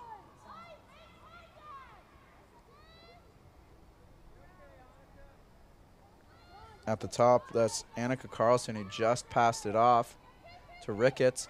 Ricketts streaking in the middle, shakes around, low shot, goal! Panthers!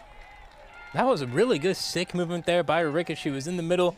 I was thinking she was going to try to do that dunk goal again, but no, she went down and under there. That was almost like a reverse layup in basketball there. That's what I would compare that one to. That was some great stick control, great body control too. She was kind of fading away there.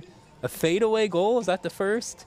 I'm, I'm going to coin that term, I think. I haven't heard that said yet in lacrosse. So fadeaway goal there for Jessica Ricketts. Her second of the day as we have a replay here. Let's see. Shakes there, drops low, just completely baffles everybody. Yeah, that baffled me too. I was like, was she going for a little pass there, a lower pass? But no, she went right for the goal. She's going to take a quick break after that one as it is well deserved. Back up to a three goal margin, 7 4 lead for Chapman. After that dead ball score for Whittier, that was a great response, Kyle. You can see uh, right there on the sidelines the body language of these ladies out here playing. Clearly, the heat and the level of competition wearing them down, but they're still having fun. They still got smiles ready for their next shift out there. I mean, yeah, you got to. You know, you signed up for this. You know, I'm sure they knew coming into this game for at least the past few days that it was going to be warm. If they watched the Chapman News five-day Fenestra forecast, you know, they definitely would have known that. Yeah, our uh, live newscast on Chapman News definitely gave the rundown that it was going to be the hottest day of the week today. That was our wonderful Alexander Konyarts given the weather.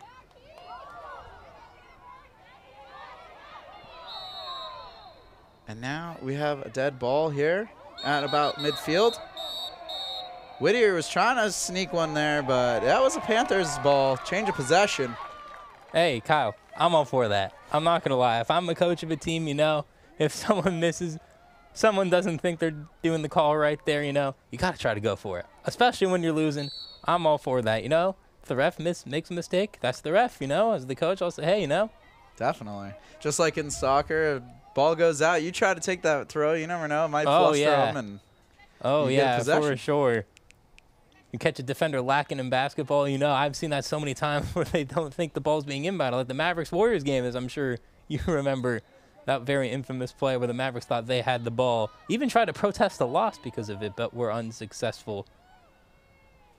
out of bounds plays can be the bane of your existence, especially when it comes to the postseason, which will be happening next week for the Panthers. But if Whittier can't come away with a win, their season will be ending today. Yeah, and I think that's starting to set in here middle of the third quarter. Again, the game nowhere close to over. Still have over a quarter and a half left of lacrosse here, but going to that fourth quarter, you want to make it close at, at least.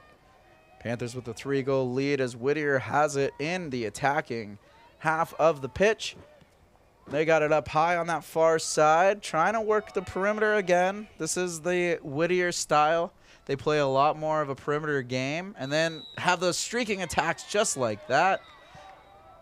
as I believe that goal for Whittier was scored by Trella Davidson, the midfielder. As might have had a whistle, as this goal has not yet counted. Oh no, Yeah, there was a whistle for a drop ball. they're not going to give the goal. We had it for a second there, but no, we're not going to get it. So Davidson is going to start with the dead ball opportunity. Hero comes up big with the save. She caught that one. That was a direct catch there as we see the fans in the sidelines loving that one. Oh, as that oh, is a little misplay there. out That of one's- reach of the Chapman player. I believe that was Sophie Bittis going downfield there. Now Whittier, after that change of possession, trying to come back into the offensive attack. Panthers giving her a hard time, but she shakes around the midfielders and gets in there. But she's got to rush back so she doesn't get a too many men delay a game. Too many women, if you will. We have another penalty there. I think that was another high stick up there, Kyle, as we talked about at halftime. Hopefully, the viewers at home can understand that a little bit better. Yeah, that high cross check not allowed here in the women's game. Dead ball for Whittier. Shot, and that's a save for Hero. She's going to get this ball back in play once the rest of the team is set. Good pass there. Oh, just bobbled it. Now we got an odd man rush with the goal for the Poets. I believe that is Nimmo. Yes, that will be Samantha Nimmo, one of our key players there, the attacker, the senior attacker for the Whittier Poets. Third goal of the game for her, Kyle. She's come to play today. And again, name we're not calling Lauren Jade Sepulveda. Again, it's been the other players, which is good to see.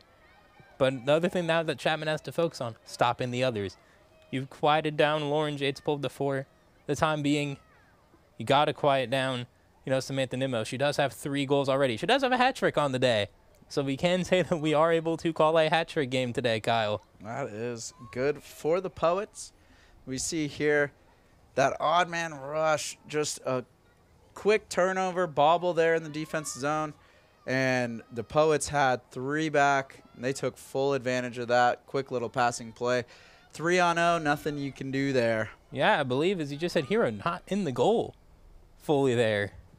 So again, that's the main question of how far do you want to abandon your goal? How far do you want to go out? Is it five yards? Is it two yards? Maybe it's not never. You got always stay. Lacrosse definitely a lot different with the dimensions of the net, but the Panthers with a big turnover after the faceoff, they come up with it streaking down, big right in the middle. Oh, rolls just into Hughes Gills and basket. Yeah, Ferreira there couldn't quite control that pass. She had a great look at a shot there too. But listen, it's okay. You know, you now just have to get back on defense, keep your head up.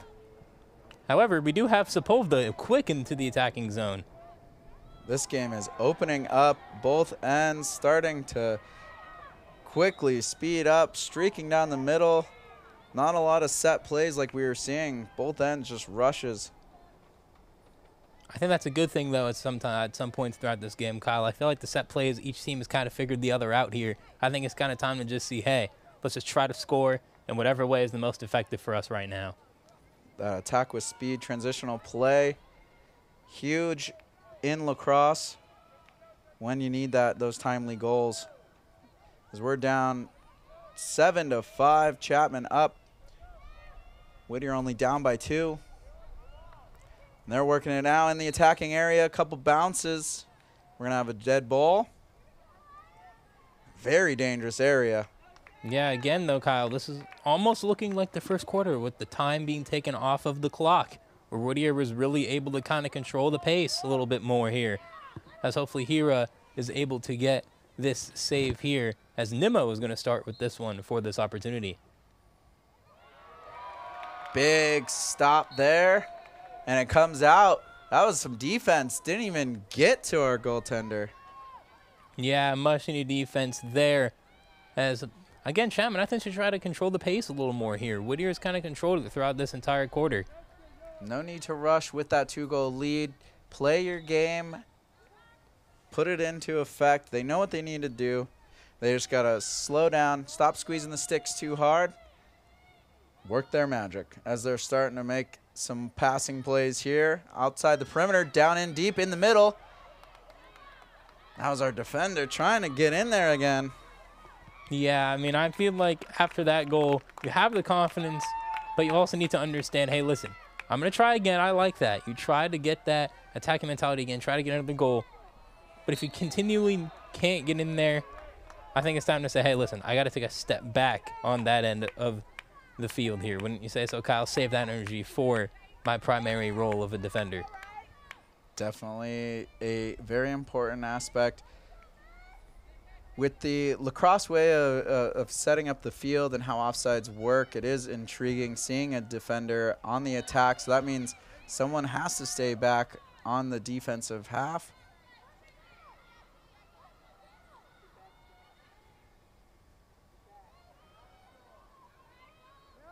But Megan Guerra, our sophomore, she has just been working real hard up there at the top. She got on the scorecard earlier.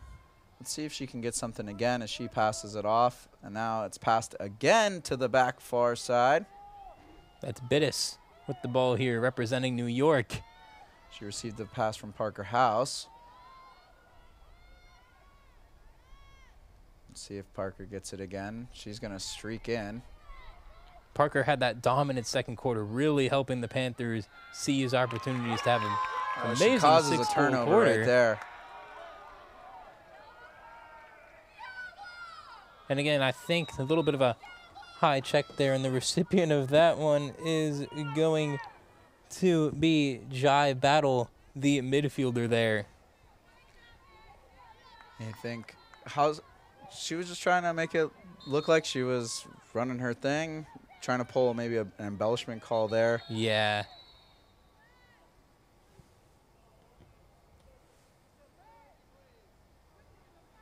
A little miscommunication as officiating trying to get their message across to the players, and now the ball's back in play. There's a quick change on the fly for the Poets. Shaking off the defense. It's Chella Davidson running all the way down our right sideline here. Back to Davidson. Little passing back and forward there for Whittier. Again, this perimeter play, it just kind of kills the clock, lulls the defense to sleep a little bit, and then they penetrate. It's Kiedra Hall, number 11, that's been passing it back and forth with Davidson. Yeah, you know, I think it Whittier right now. I mean, I like that they're controlling the clock for them, but at one point do you shoot? they've been controlling the clock. They've been getting dead ball opportunities, but they haven't really been getting shots on goal in open play. As we have another dead ball here. Speaking of dead ball opportunities, And that leads to a goal for the for the Poets. as was that Nimmo again? I,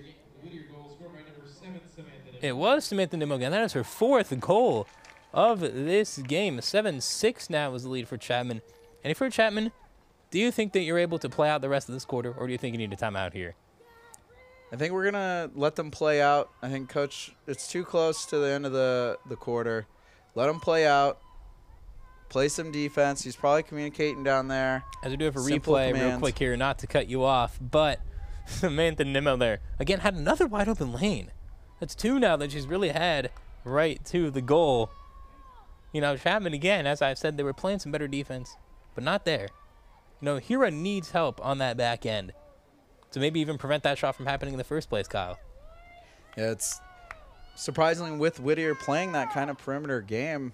Uh, the Panthers are taking a lot of dead ball or giving the Poets a lot of dead ball opportunities with those hacks and whacks. So it's hard because you want to play that physical game. You don't want to just let them get into your middle area of the crease, but also got to play smart and reliable lacrosse because we the, these dead balls are just going to be the bane of their existence if they can't stop that game. Yes, yes, you are very much right here. The key here is hold. No more goals. You do not want to go into this fourth quarter tied if you are the Panthers. Oh, the dead ball trying to get to it. And they're going to give it to the Panthers.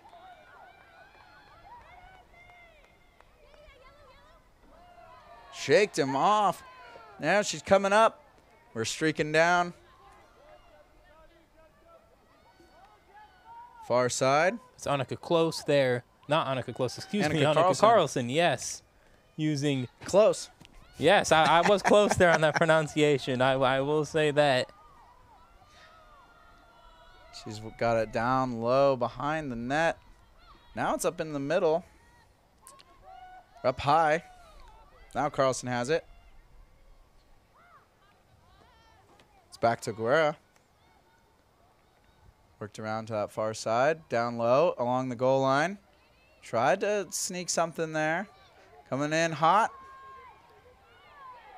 Cannot get the defender offer. Just going to pass it low. Almost a bobble there. 40 seconds left here in this quarter. See if Chapman can end on a buzzer beater. Ferreira with it. Couple lanes crossing down low. If you see those forwards, they're trying to move and create some confusion. Back up to Carlson. 22 seconds on the clock. A shot is off, off the goalie. Panthers get to it. They're going to try to bring it in quick. Passed in, drop down. Big save by Hughes Gill. That would have been dangerous. Yeah, that was a great play. That was Annika Close there on the shot, as I believe Whittier's not going to get an opportunity here as the third quarter is going to come to an end with Chapman still up by one, but conceding was, I believe, all three were dead ball goals. So again, their open play defense has been good, but you can't keep letting them have those dead ball opportunities. So Kyle, what do you think here going in to the fourth and final quarter here on this senior day? Do you think Whittier can have a chance here to clinch a playoff berth, or does Chapman honor their seniors with a victory here?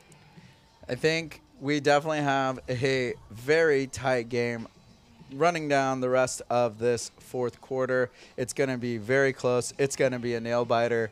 However, the Panthers, they have that lead. They have the ability with the home fans, the home crowd behind them. It's senior night. I think they're going to have the determination to come out, play a much more disciplined fourth quarter.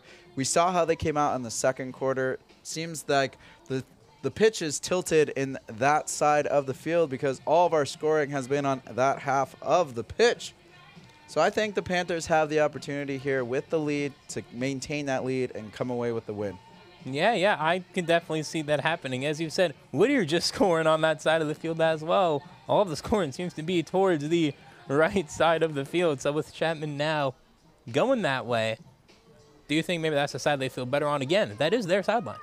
So You again, know- you're closer to the coach, closer to hearing communications. We have a quick replay here as we have Jay battle with that, as we have the check there that happened. I believe that was Sophie Lasitra with the check. Yeah, that is something that cannot be happening, as we've pointed out, especially after we just gave all of you viewing wherever you may be there that quick rundown. You guys can definitely see now how it impacts the game, how those penalties really impact the game with the dead ball opportunities. And now Whittier's coaches feeling a lot better about themselves now, Kyle, wouldn't you say?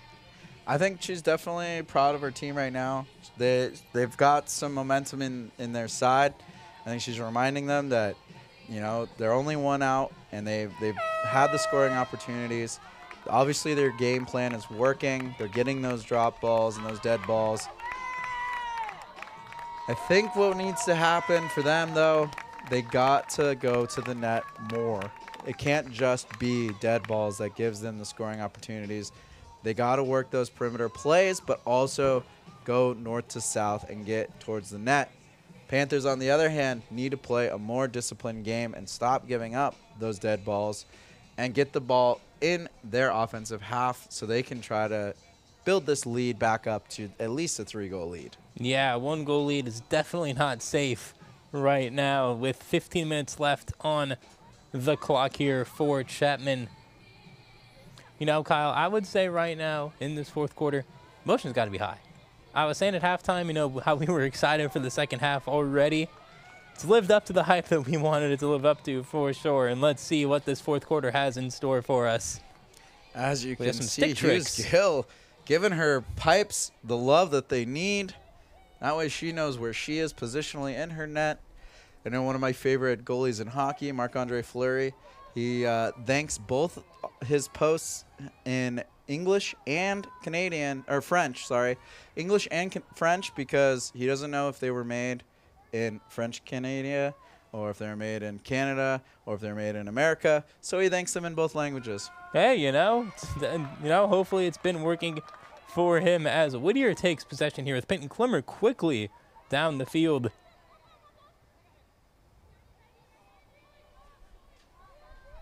back up high. Lacrosse is actually the oldest sport in America. Uh, it was a Native American sport founded in the East Coast area of Canada and America. So I guess we got to thank our goalposts also in the Native American tongue, which I'm sure none of us here speak. But we're doing it in spirit as Whittier ties it. Yeah, that was Lauren Jade Sepulveda, someone who we were saying was a little quiet this game on the goal side. Gets that goal there. I didn't. That went in so fast because it bounced back out. I thought that hit maybe it hit here a stick, but it didn't. There, seven-seven, quickly, just as we were giving you all a nice little history lesson on a weekend. You know, As- with that goal there ties the game 7-7 and you know the history speaking of history of these two teams 10-9 win for chapman at whittier. Very close game there. Sepulveda with the power bounce shot there. Honestly a sigh of relief i think from her in that celebration. And you saw there she was taking a check as she went for the shot. Call that a last chance effort there, and it worked out for her. On the score sheet. Not only with assists and ground balls, but now with a goal. yeah yeah you know definitely needed that but Kyle, you know what else what other sport was founded in canada hmm. basketball i didn't know this until recently james naismith was canadian founded in canada Nice. See, Canada's got all the good stuff. Poutine, hockey, lacrosse, and basketball. Yeah, baseball got the blue jays Hey, let's go. It is playoff season, though, as I'm sure everyone at home knows. We got NBA playoffs, we got NHL playoffs, and we're about to have our SCIAC playoffs. And our men's lacrosse team trying to find a way into the MCLA playoffs. Yeah, yeah, having a very dominant season on that end. I remember we got to broadcast when they played UCLA. Not very often the Chapman plays UCLA in sports, but that was a big day. A lot of Bruins fans made that trip. I had the pleasure of doing sideline for that game, and Kyle, that game was a very heated one. A lot of heated matches here at Wilson Field as we have a 7-7 game between the Poets and the Panthers. Whittier the last to score and make this an even game. Panthers trying to get something going here as they have a dead ball, and that's kind of what got them going in the second quarter. Yeah, let's see who starts with it as it'll be Annika Carlson. Off the rebound, Panthers trying to come up, and it's going to be a poet ball. Again, this is a key defensive possession here. You had that lead. Don't want to give up the lead here. Again, still over 13 minutes left here in this game. Have a lot of time left, but just from your psychological standpoint, being up 6-3 at halftime, can't let Whittier get this again. And we'll see if Whittier slows down the clock here or they try to go with pace. Whittier's fate literally in the hands of the players on the field and the Panthers as a win tonight will get them into the playoffs. However, a loss will unfortunately end the season as now they take the lead with the big goal. That is number 20 It's Molly on Landon. the Poets. That is Molly Landon on the goal there. Key, key goal for her. Landon, the attacker and midfielder, doing both out there. Huge, huge goal for Whittier as they take their first lead since the first quarter on this replay. See what happens here. Land just gets it through Hira and number 12 of Chapman. That is Sophie Pelton. So just literally caught right in between them. As again, here a little bit outside of the goal. I think what she needs to do, stay closer to the goal, unless if you need to move around and try to stop the ball, get a save there, as I believe Olivia Robertson there might be talking to her about that exact thing. Yeah, some communication there from the goaltender to her defenders. And it is senior day here for Panthers, and that was a senior for Whittier taking the lead in the fourth. 13 minutes to play. Whittier started the game with the lead. Panthers took it in the second and maintained it in the third, but now Whittier coming back with two quick goals to take the lead. Now, you know, and also something, Kyle, now. Sepulveda in the face-off. The draw point battle here. Her, I believe, first one of the game. I could be wrong on that, but it's mainly been Peyton Klimmer. And For the Panthers Poets. come up with the win.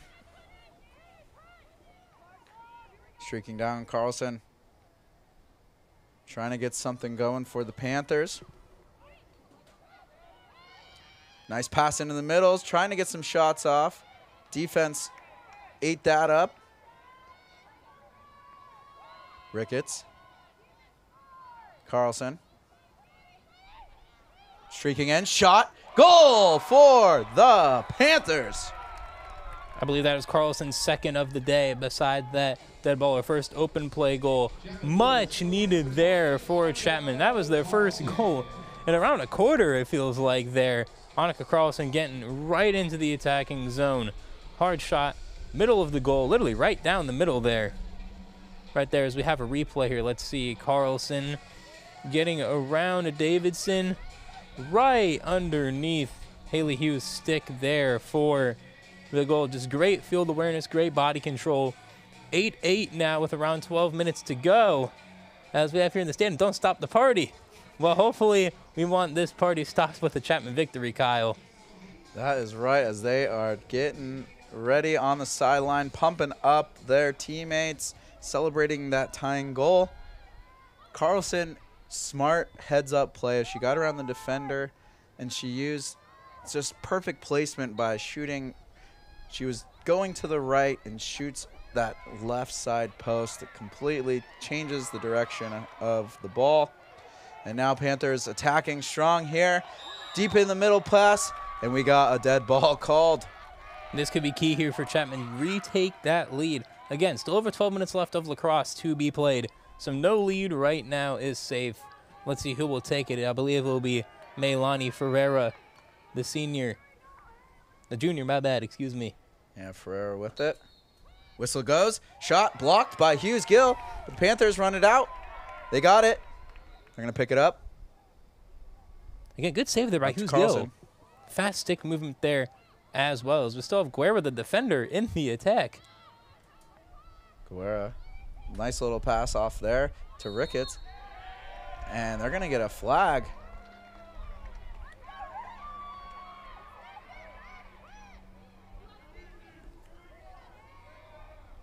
As we have some that's too easy chance starting. I don't know exactly from who, but we have those starting as Ricketts has it. Ricketts, shot, and it's goal. Ricketts. Panthers take the lead. Good play there from Ricketts. Having multiple goals on the day. Is that a hat trick for her? I believe it is a hat trick for her. We will have that double checked at the end of the game as, again, we apologize for the graphic. 9-8 now, Chapman with just under 12 minutes left to play. Let's see this replay as Ricketts, again, wide open lane.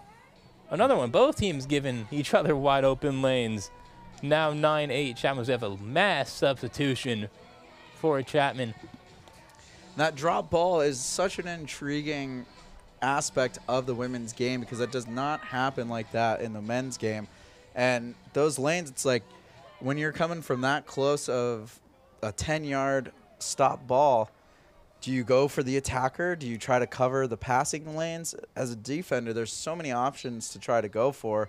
You kind of just hope your goalie's going to read that shot. That was a quick one off of Ricketts, and we got a lead Panthers 9 to 8. Down low, right into the middle. Kicking it around. It's Can all you do that? over. Can you do that in lacrosse? Because I know in a lot of sports, obviously soccer you're kicking, but everything else, I know basketball you can't do the kicked ball. You know, I don't know how it works with hockey. I have a feeling you can't. So is that legal in, in lacrosse? Because that's the first time I've really seen that all game or in any of the games that I've been at so far. Yeah, so you can kick the ball. Uh, you can't step on it, but you can roll it along as you're trying to pick it up. You can't use your own hands to pick up the ball or anything like that. Hockey as well, you can use your skate to progress the puck forward. You cannot kick it into the net, though. So I don't think you Hmm. can kick it into the net either for lacrosse.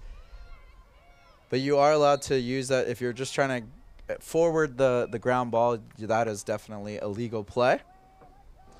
Whittier here has the ball working around the far side into Sepulveda. She passes it into the middle, back shot, but Hero right there, not phased by that little over the back shot.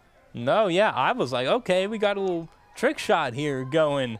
You know, I was like, I was kind of wanting to see that one, you know, even though we aren't for Chapman. Cool trick shot's a cool trick shot. Exactly. Got to give credit where credit's due.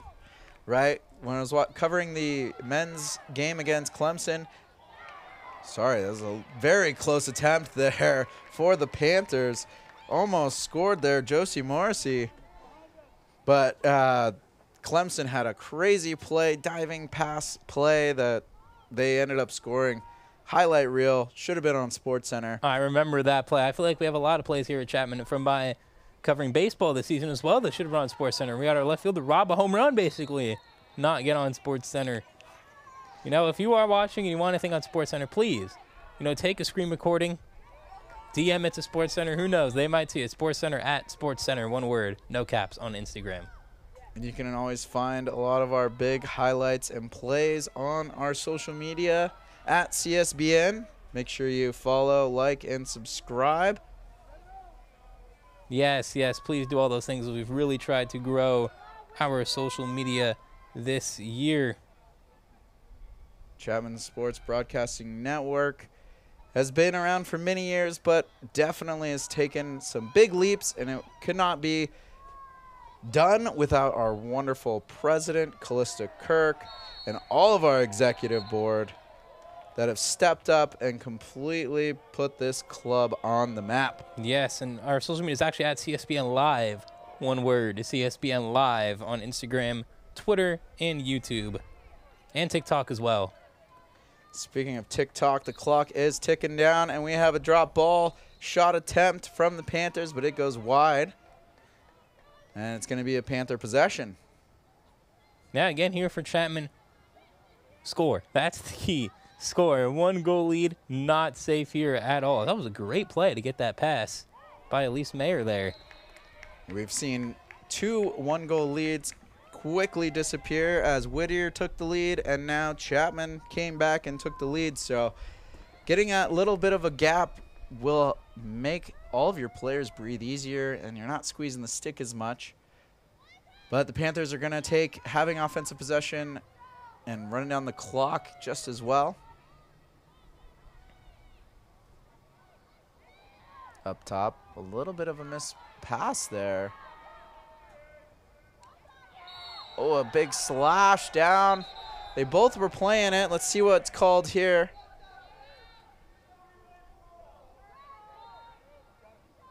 A little shaken up on the play there. That was a big aggressive play. Both players going in there. Ferreira, she's tough. She's shooken, but she's going to get right back on there. Got the goggles back in. Ready to go. Both We're going to give this to the Poets. Yeah, both players there are okay, which is the main thing that you want to see whenever something like that happens. Ferreira almost gets that Oh. steal. Did you see that lower hand stick check as she bopped right below the bottom hand? That is a legal stick check. That's beautiful defense. Yeah, great effort there by Ferreira. Sepulveda now with it. We got a whistle. And we're going to take a timeout. Whittier. Interesting call, I feel like. I mean, I didn't think a timeout was necessarily needed. There, you know, it's a one goal game. You have over seven minutes to go as the clock is still running, I believe, here as we wait for all of the players to get back to their respective benches. And what do you think Coach Dan's going to talk about here to his team? This is definitely one of those times where you, you want to bring down the emotions, bring down the energy. You want them to be focused. There's good energy, there's good momentum, but you don't want to get too in your head, too excited. So he's just reminding them to take a breath, drink some water, and take the lead. Don't give up those bad penalties. Play disciplined and keep advancing forward. Yeah, I mean, I, I agree. Couldn't have said it any better there as we have, you know, the timeout here, stopping the play. Hopefully, players staying hydrated here. If you're Whittier's coach, though, I think the message here is that you've been playing pretty well in the second half. Like, there's not really much that you've done wrong necessarily here. You know, I think it might just be more the same, but just try to get into the attacking zone a little more, a little earlier maybe, as time is no longer on your side. You can't be running down that clock. That is very true, Josh. As we see the Chapman team here going through the timeout, not too much uh, emotion coming from coaches. There seems on both sides they are very confident in their team. They know that these ladies have it in them. Did you see Hughes Gill there? She has been a huge, huge factor for these poets as they were able to climb back and take the lead, but unfortunately, Panthers did get back on the board. Yeah, you know, again, if you're the Panthers here scoring, the main key. You want to get that two goal lead, I feel like, with five minutes to go. You want to have multiple goal leads. So if you do concede, you're not like, oh no, tie game. You're saying, hey, we still got one lead up, one goal up. Let's try to get this up here as we have the officials sprinting back out onto the field there.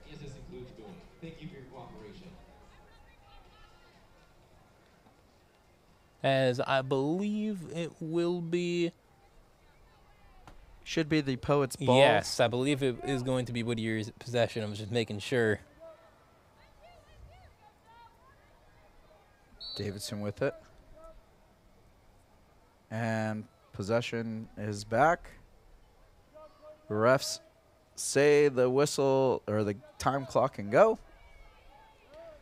And Whittier working that perimeter on the outside again. Coach was probably going over. Davidson working around the outside, now low.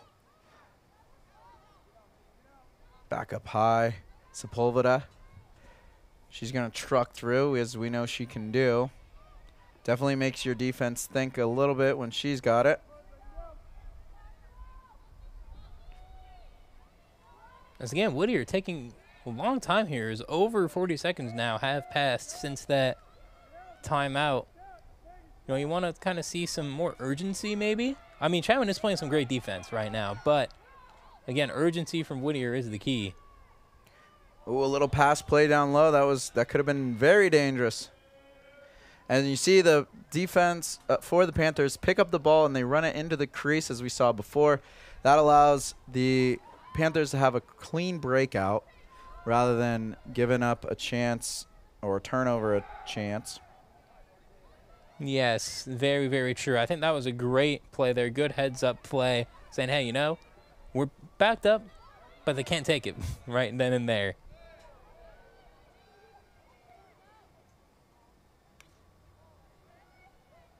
Ricketts with it. Look at how much space they have. There's just nothing, not a lot of coverage from the Poets here late with a one goal deficit.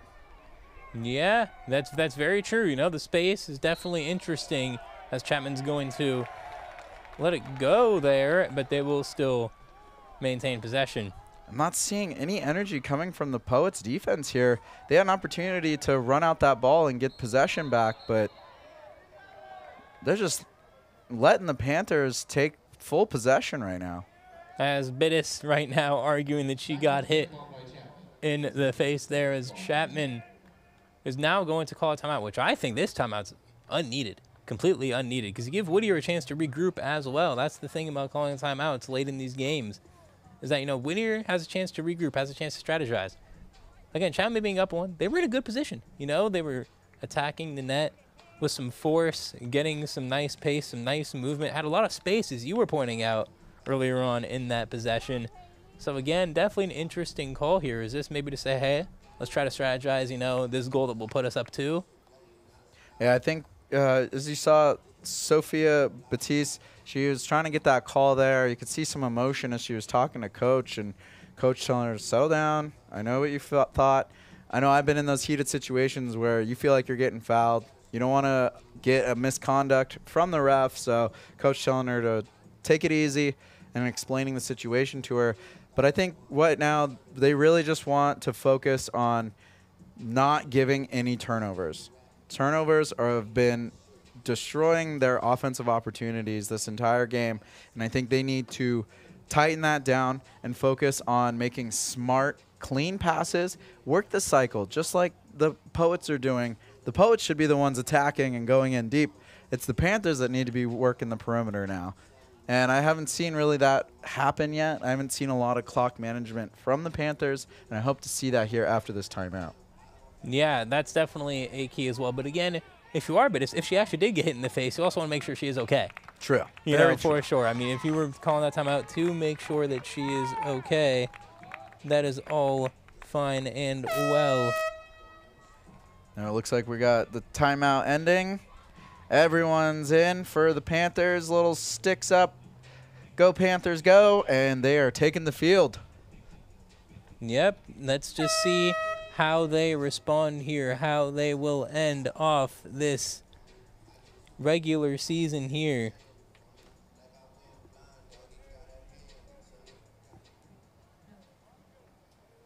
As we have Haley getting back in goal here. I to say I'm very impressed by both goalies for the both teams. They've been playing really well. This is could have been a lot higher scoring game, but they've been standing very strong in net for both sides. This Panthers ready to get this ball into play after the timeout. That's Guerrero with it. Now she gives it down to Batiste. Guerrera shakes, shimmies, Oh, she could have shot it, but she was just foundering with the ball. Didn't feel comfortable releasing it. Another shot there, but that goes wide.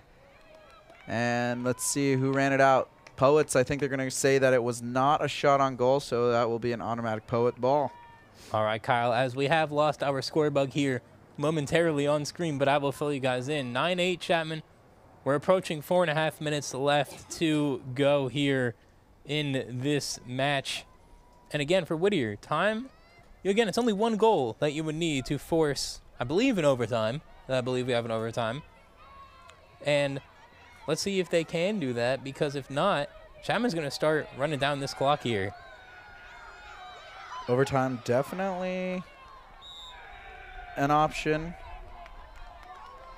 As Whittier fans making some noise there, very, very happy about that one. That's the first time I've really heard them, you know, kind of get up, get a little rowdy there in a good way. Good rowdy the whole game.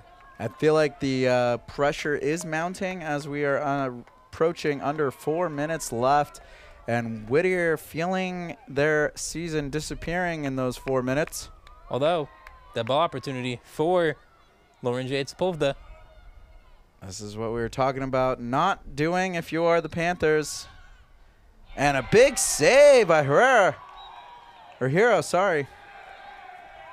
Panthers possession as you hear the fans excited about that one. Yeah, they're starting to be able to taste it, but you can never ever celebrate too early in any sport here, Kyle. So, still got to finish the job here with around three and a half minutes left.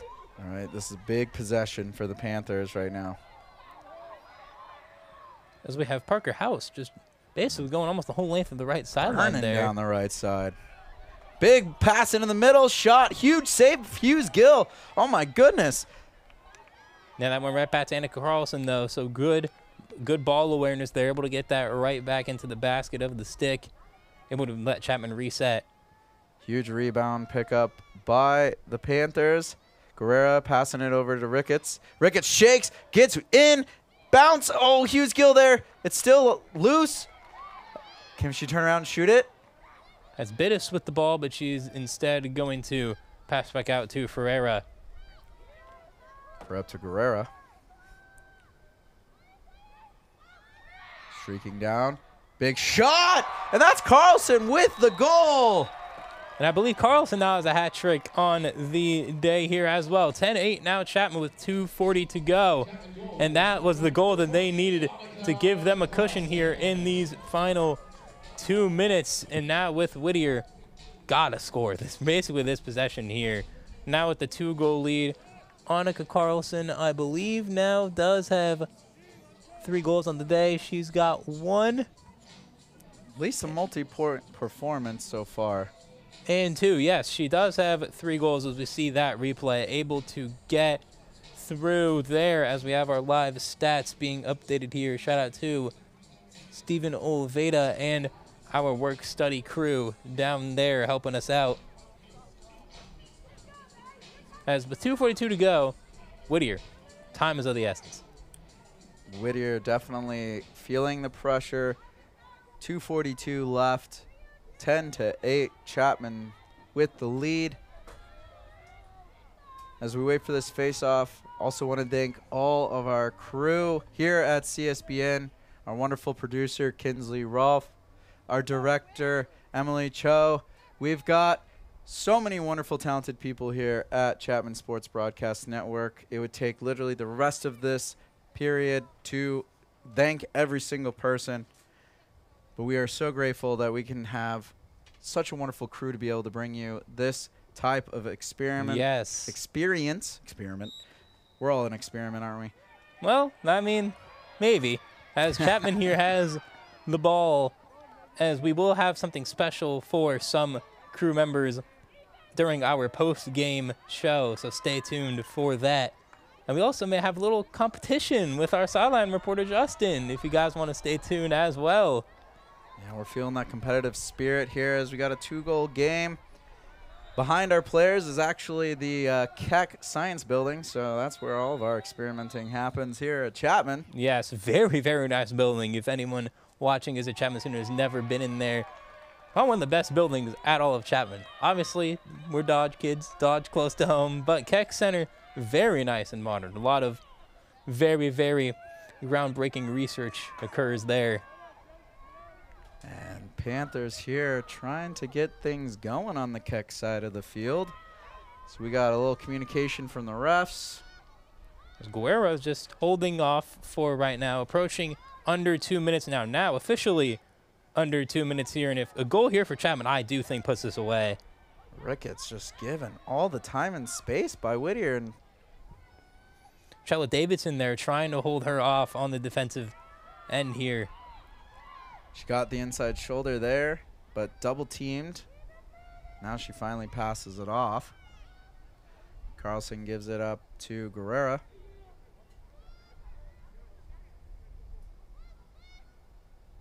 As that is Peyton Klimmer there, one of our key players, trying to hold her Shook off. her off.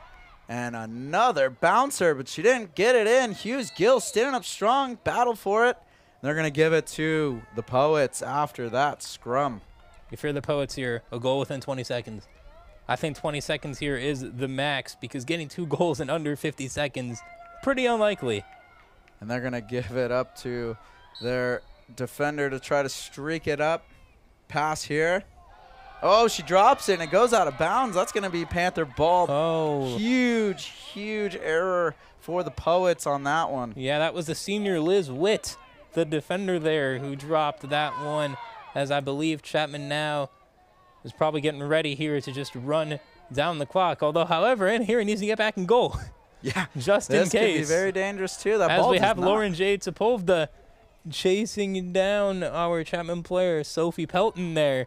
Although they clear it back into the crease, as you said. A big play here with 10 seconds left now, two goal lead. This one is over. Yeah, the Panthers trying to do some clock management. Sepulveda, though, doing everything she can to irritate the goaltender and the defense. And we got Ricketts, last seconds of play. Can she get it off?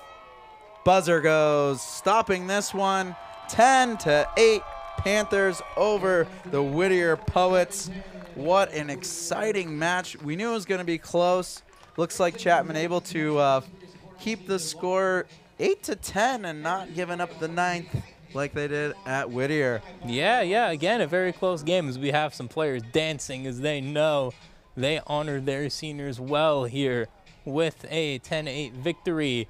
Chapman now will finish the season 11 and 5. Again, a good record there. And if you're in the NFL with this back when there were 16 games, that's enough to make the playoffs there, and that will be enough to make the playoffs here as well as we got all of our players dancing for joy as a 10-8 victory. Again, another hard fought, hard fought game with these Whittier Poets here. And Whittier still had a good season overall, finishing 8 and 8, just missing out on those playoffs, but giving all giving Chapman rather all that they can handle, Kyle. That's right. We're going to let the uh, environment kind of wash over you. You can hear the music down there. Whittier Poets, they put up a good fight. They tried. They came out. Not sure if anyone bled, but they definitely put their sweat and tears into this one. Yes, they did. And now we have everyone is shaking hands there, but now we have some key highlights from this game that we would like to take you all through as everything's getting loaded in here. Chapman going to playoffs with high heads, great emotions, good vibes all around as that game happening next week. But here are some highlights here. Quick snipe for Whittier. Got them into the tie. And then Panthers here not giving up. Big, huge ground ball by Ricketts as she approached the middle there. Another dead ball. Kind of the bane of the existence for both teams today. But a huge save there by Hero as she was able to come up with a victory today. Yes, but then that was Samantha Nimmo who had a hat trick of her own in this loss, getting a wide open lane again. And then here we have Lauren Jade Sepulveda who had that great goal that went in pretty quickly. We didn't weren't able to tell there at first, but again with Whittier here, we have Molly Landon who had that sweeping ground ball that went in. But here we have Annika, Annika Carlson who right here sealed this game with the 10th goal of the game for Chapman, who had a hat trick of her own. And then Ricketts again with another dead ball goal. As Chapman, both teams, though, really got a lot of dead ball opportunities and made the most of them, wouldn't you say? Yes, definitely. A lot of ground balls, a lot of dead ball opportunities. That was what led to most of the goals today. You can see all the Chapman ladies down there enjoying the victory. A lot of seniors enjoying the taste of a final game, but with a victory. And we're going to actually invite our MVP, Jessica Ricketts, number 34. She's going to be with our sideline reporter, Justin, down there. So we're definitely excited to hear from her and what this Chapman squad was able to bring to the table today. Yeah, Jessica Ricketts had a hat trick, like we said, very, very key. Was using her height to her advantage. Had some good low stick checks, which are legal here, and were able to get steal opportunities as a result of that. As we now have, even though after a win, our players definitely still helping out here with setup and cleanup. And now Justin Lee on the sidelines with our MVP. Jessica Ricketts. Justin, take it away. Hello, I'm here with Jessica Ricketts, our CSBN MVP, the senior here today with a hat trick and also broke the record for most draw controls in a career here at Chapman University. Big win today for you guys. This is your senior day. How does it feel out here? Um, it was definitely a lot of fun. Really sad being the senior game, but we're very happy. We had a good support team here, so we're very proud with how we ended the game. Absolutely. You guys um, have been really close with Whittier a lot of the year. Like 10 9 was the last matchup today. Very similar as well. You guys knock them out of the playoffs, which is huge for you guys, obviously. But you guys get to play against Car- Claremont MS on Wednesday. What's the mentality going into that? Um, definitely the same as like every game. Like we want to win, so we're gonna put all our all into the game. We're gonna train really hard on the next two days for practice and really try and win that game. We're very excited for it. You have a lot of veteran experience as a senior, obviously. Do you have a message for a lot of these younger people who are going to be taking the mantle after you're gone? Ooh, um, I would say just stick with it. Really get to know the team. I think really relying on your teammates and getting to know them both on and off the field is so important. So I think that's mostly it. Absolutely. Well, is there any celebrations in partake later today? I'm not sure. Definitely gonna spend time with family since I have a lot of family in town, but I'll definitely spend time with all the seniors later too. Absolutely. Congrats on the win and good luck in the playoffs, and we'll see you guys there. Thank you. Thank you. This has been Justin with uh, Jessica Ricketts. Thank you, Justin. Such a great interview to have. And as you know, we got to show off our MVP. So Oh, we're going to look at some highlights of Jessica Ricketts' performance today in this one. Uh, definitely saw some attacking through the middle there, getting the, pu- the puck, getting the ball in the net, scoring in the cage, bringing that senior mentality to bring her team into this one driving through the middle, not afraid to take those whacks and those hacks, and she grounds it in for the second one of the day. Yes, and then for her final goal here on another dead ball opportunity going right down again with another open lane. Both teams really struggled with those open lanes, but Chapman again coming out on top 10-8 and Jessica Ricketts a very, very important part of that. And I believe now, Kyle, we have a pretty fun segment coming out here in our post game. Would you like to explain what we're going to do here? Well, I mean, we celebrate here at CSBN when our Chapman sports teams come away with the W. And uh, I heard someone down the sideline, possibly Justin Lee, was wanting to have a griddy off, Yes. if we will. Maybe, maybe a little competition. I don't know. Can we uh, bring him up? Okay. I'm- It looks like I'm going to be going first here, Josh. All right, Kyle. I, All right, you better unless- set the bar. Can you griddy? Can you I mean, I'm gonna do it, but can I'm you do this? you. Can you? Can you? Oh, that's Okay. right. That's right. Okay, Oh. Kyle. Okay, well, What I'm gonna got? go What do you now. got down there, This is- Justin? what do you is- got? What do you got? All right, Justin. All right, I said you guys were on. Here we go. Let's see what he's got. Oh, shoot! What is that? What's he even doing? Come on now. Come Looks on like he now. was just skipping. All right, this All is the Josh, grand finale. Do not roast me at home. This is going to be very bad, as Justin is the Well, only person to have ever um, seen me griddy. If we're doing it now, everybody, as that is my griddy. Oh, do some more. Do some more. I Let think me see Justin by far has the best griddy. Uh, I don't know by about far, that. by far here at CSBN. What do you got, Justin? Do you think you took that one, or was I the best, as we know?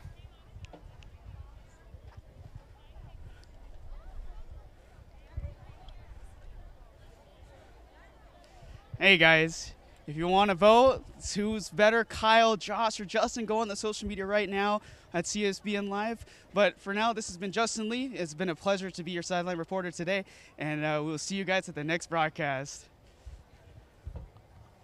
Thank you, Justin. Man, I got worked up. I'm all sweaty. We got some exciting lacrosse that happened We did. Burning hot here as something that we have special planned is that it's not only Chapman Lacrosse's senior day, it's senior day here at CSBN as we have some senior crew members who will be graduating this year as we have some photos of them up on the screen.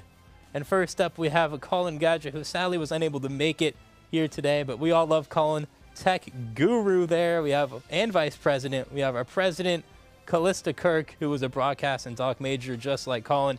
And lastly, we have our producer today, Kinsley Rolfe, who also executive produces our student run weekly newscast, Chapman News, a broadcast and doc major as well. And we are very thankful for all of their contributions, not just this year, but over their entire Chapman career. And we will miss them very much. As I was saying, this broadcast, the way that we have been able to bring all of our sports to you at home, would not be a, an option without those three at the helm. They've done so much for us as all of our seniors, all of our juniors here at Chapman have been leading the way, leading the torch. And Josh, it's been an honor and a privilege to work with you tonight. Thank you, Kyle. today. Uh, this is, you know, Ernie Chapman Stadium, beautiful spot. Wilson Field, beautiful stop. I'm Kyle Carr. This is Joshua Feinhirsch. For all of us here at CSBN, thank you for joining. Have a great rest of your day.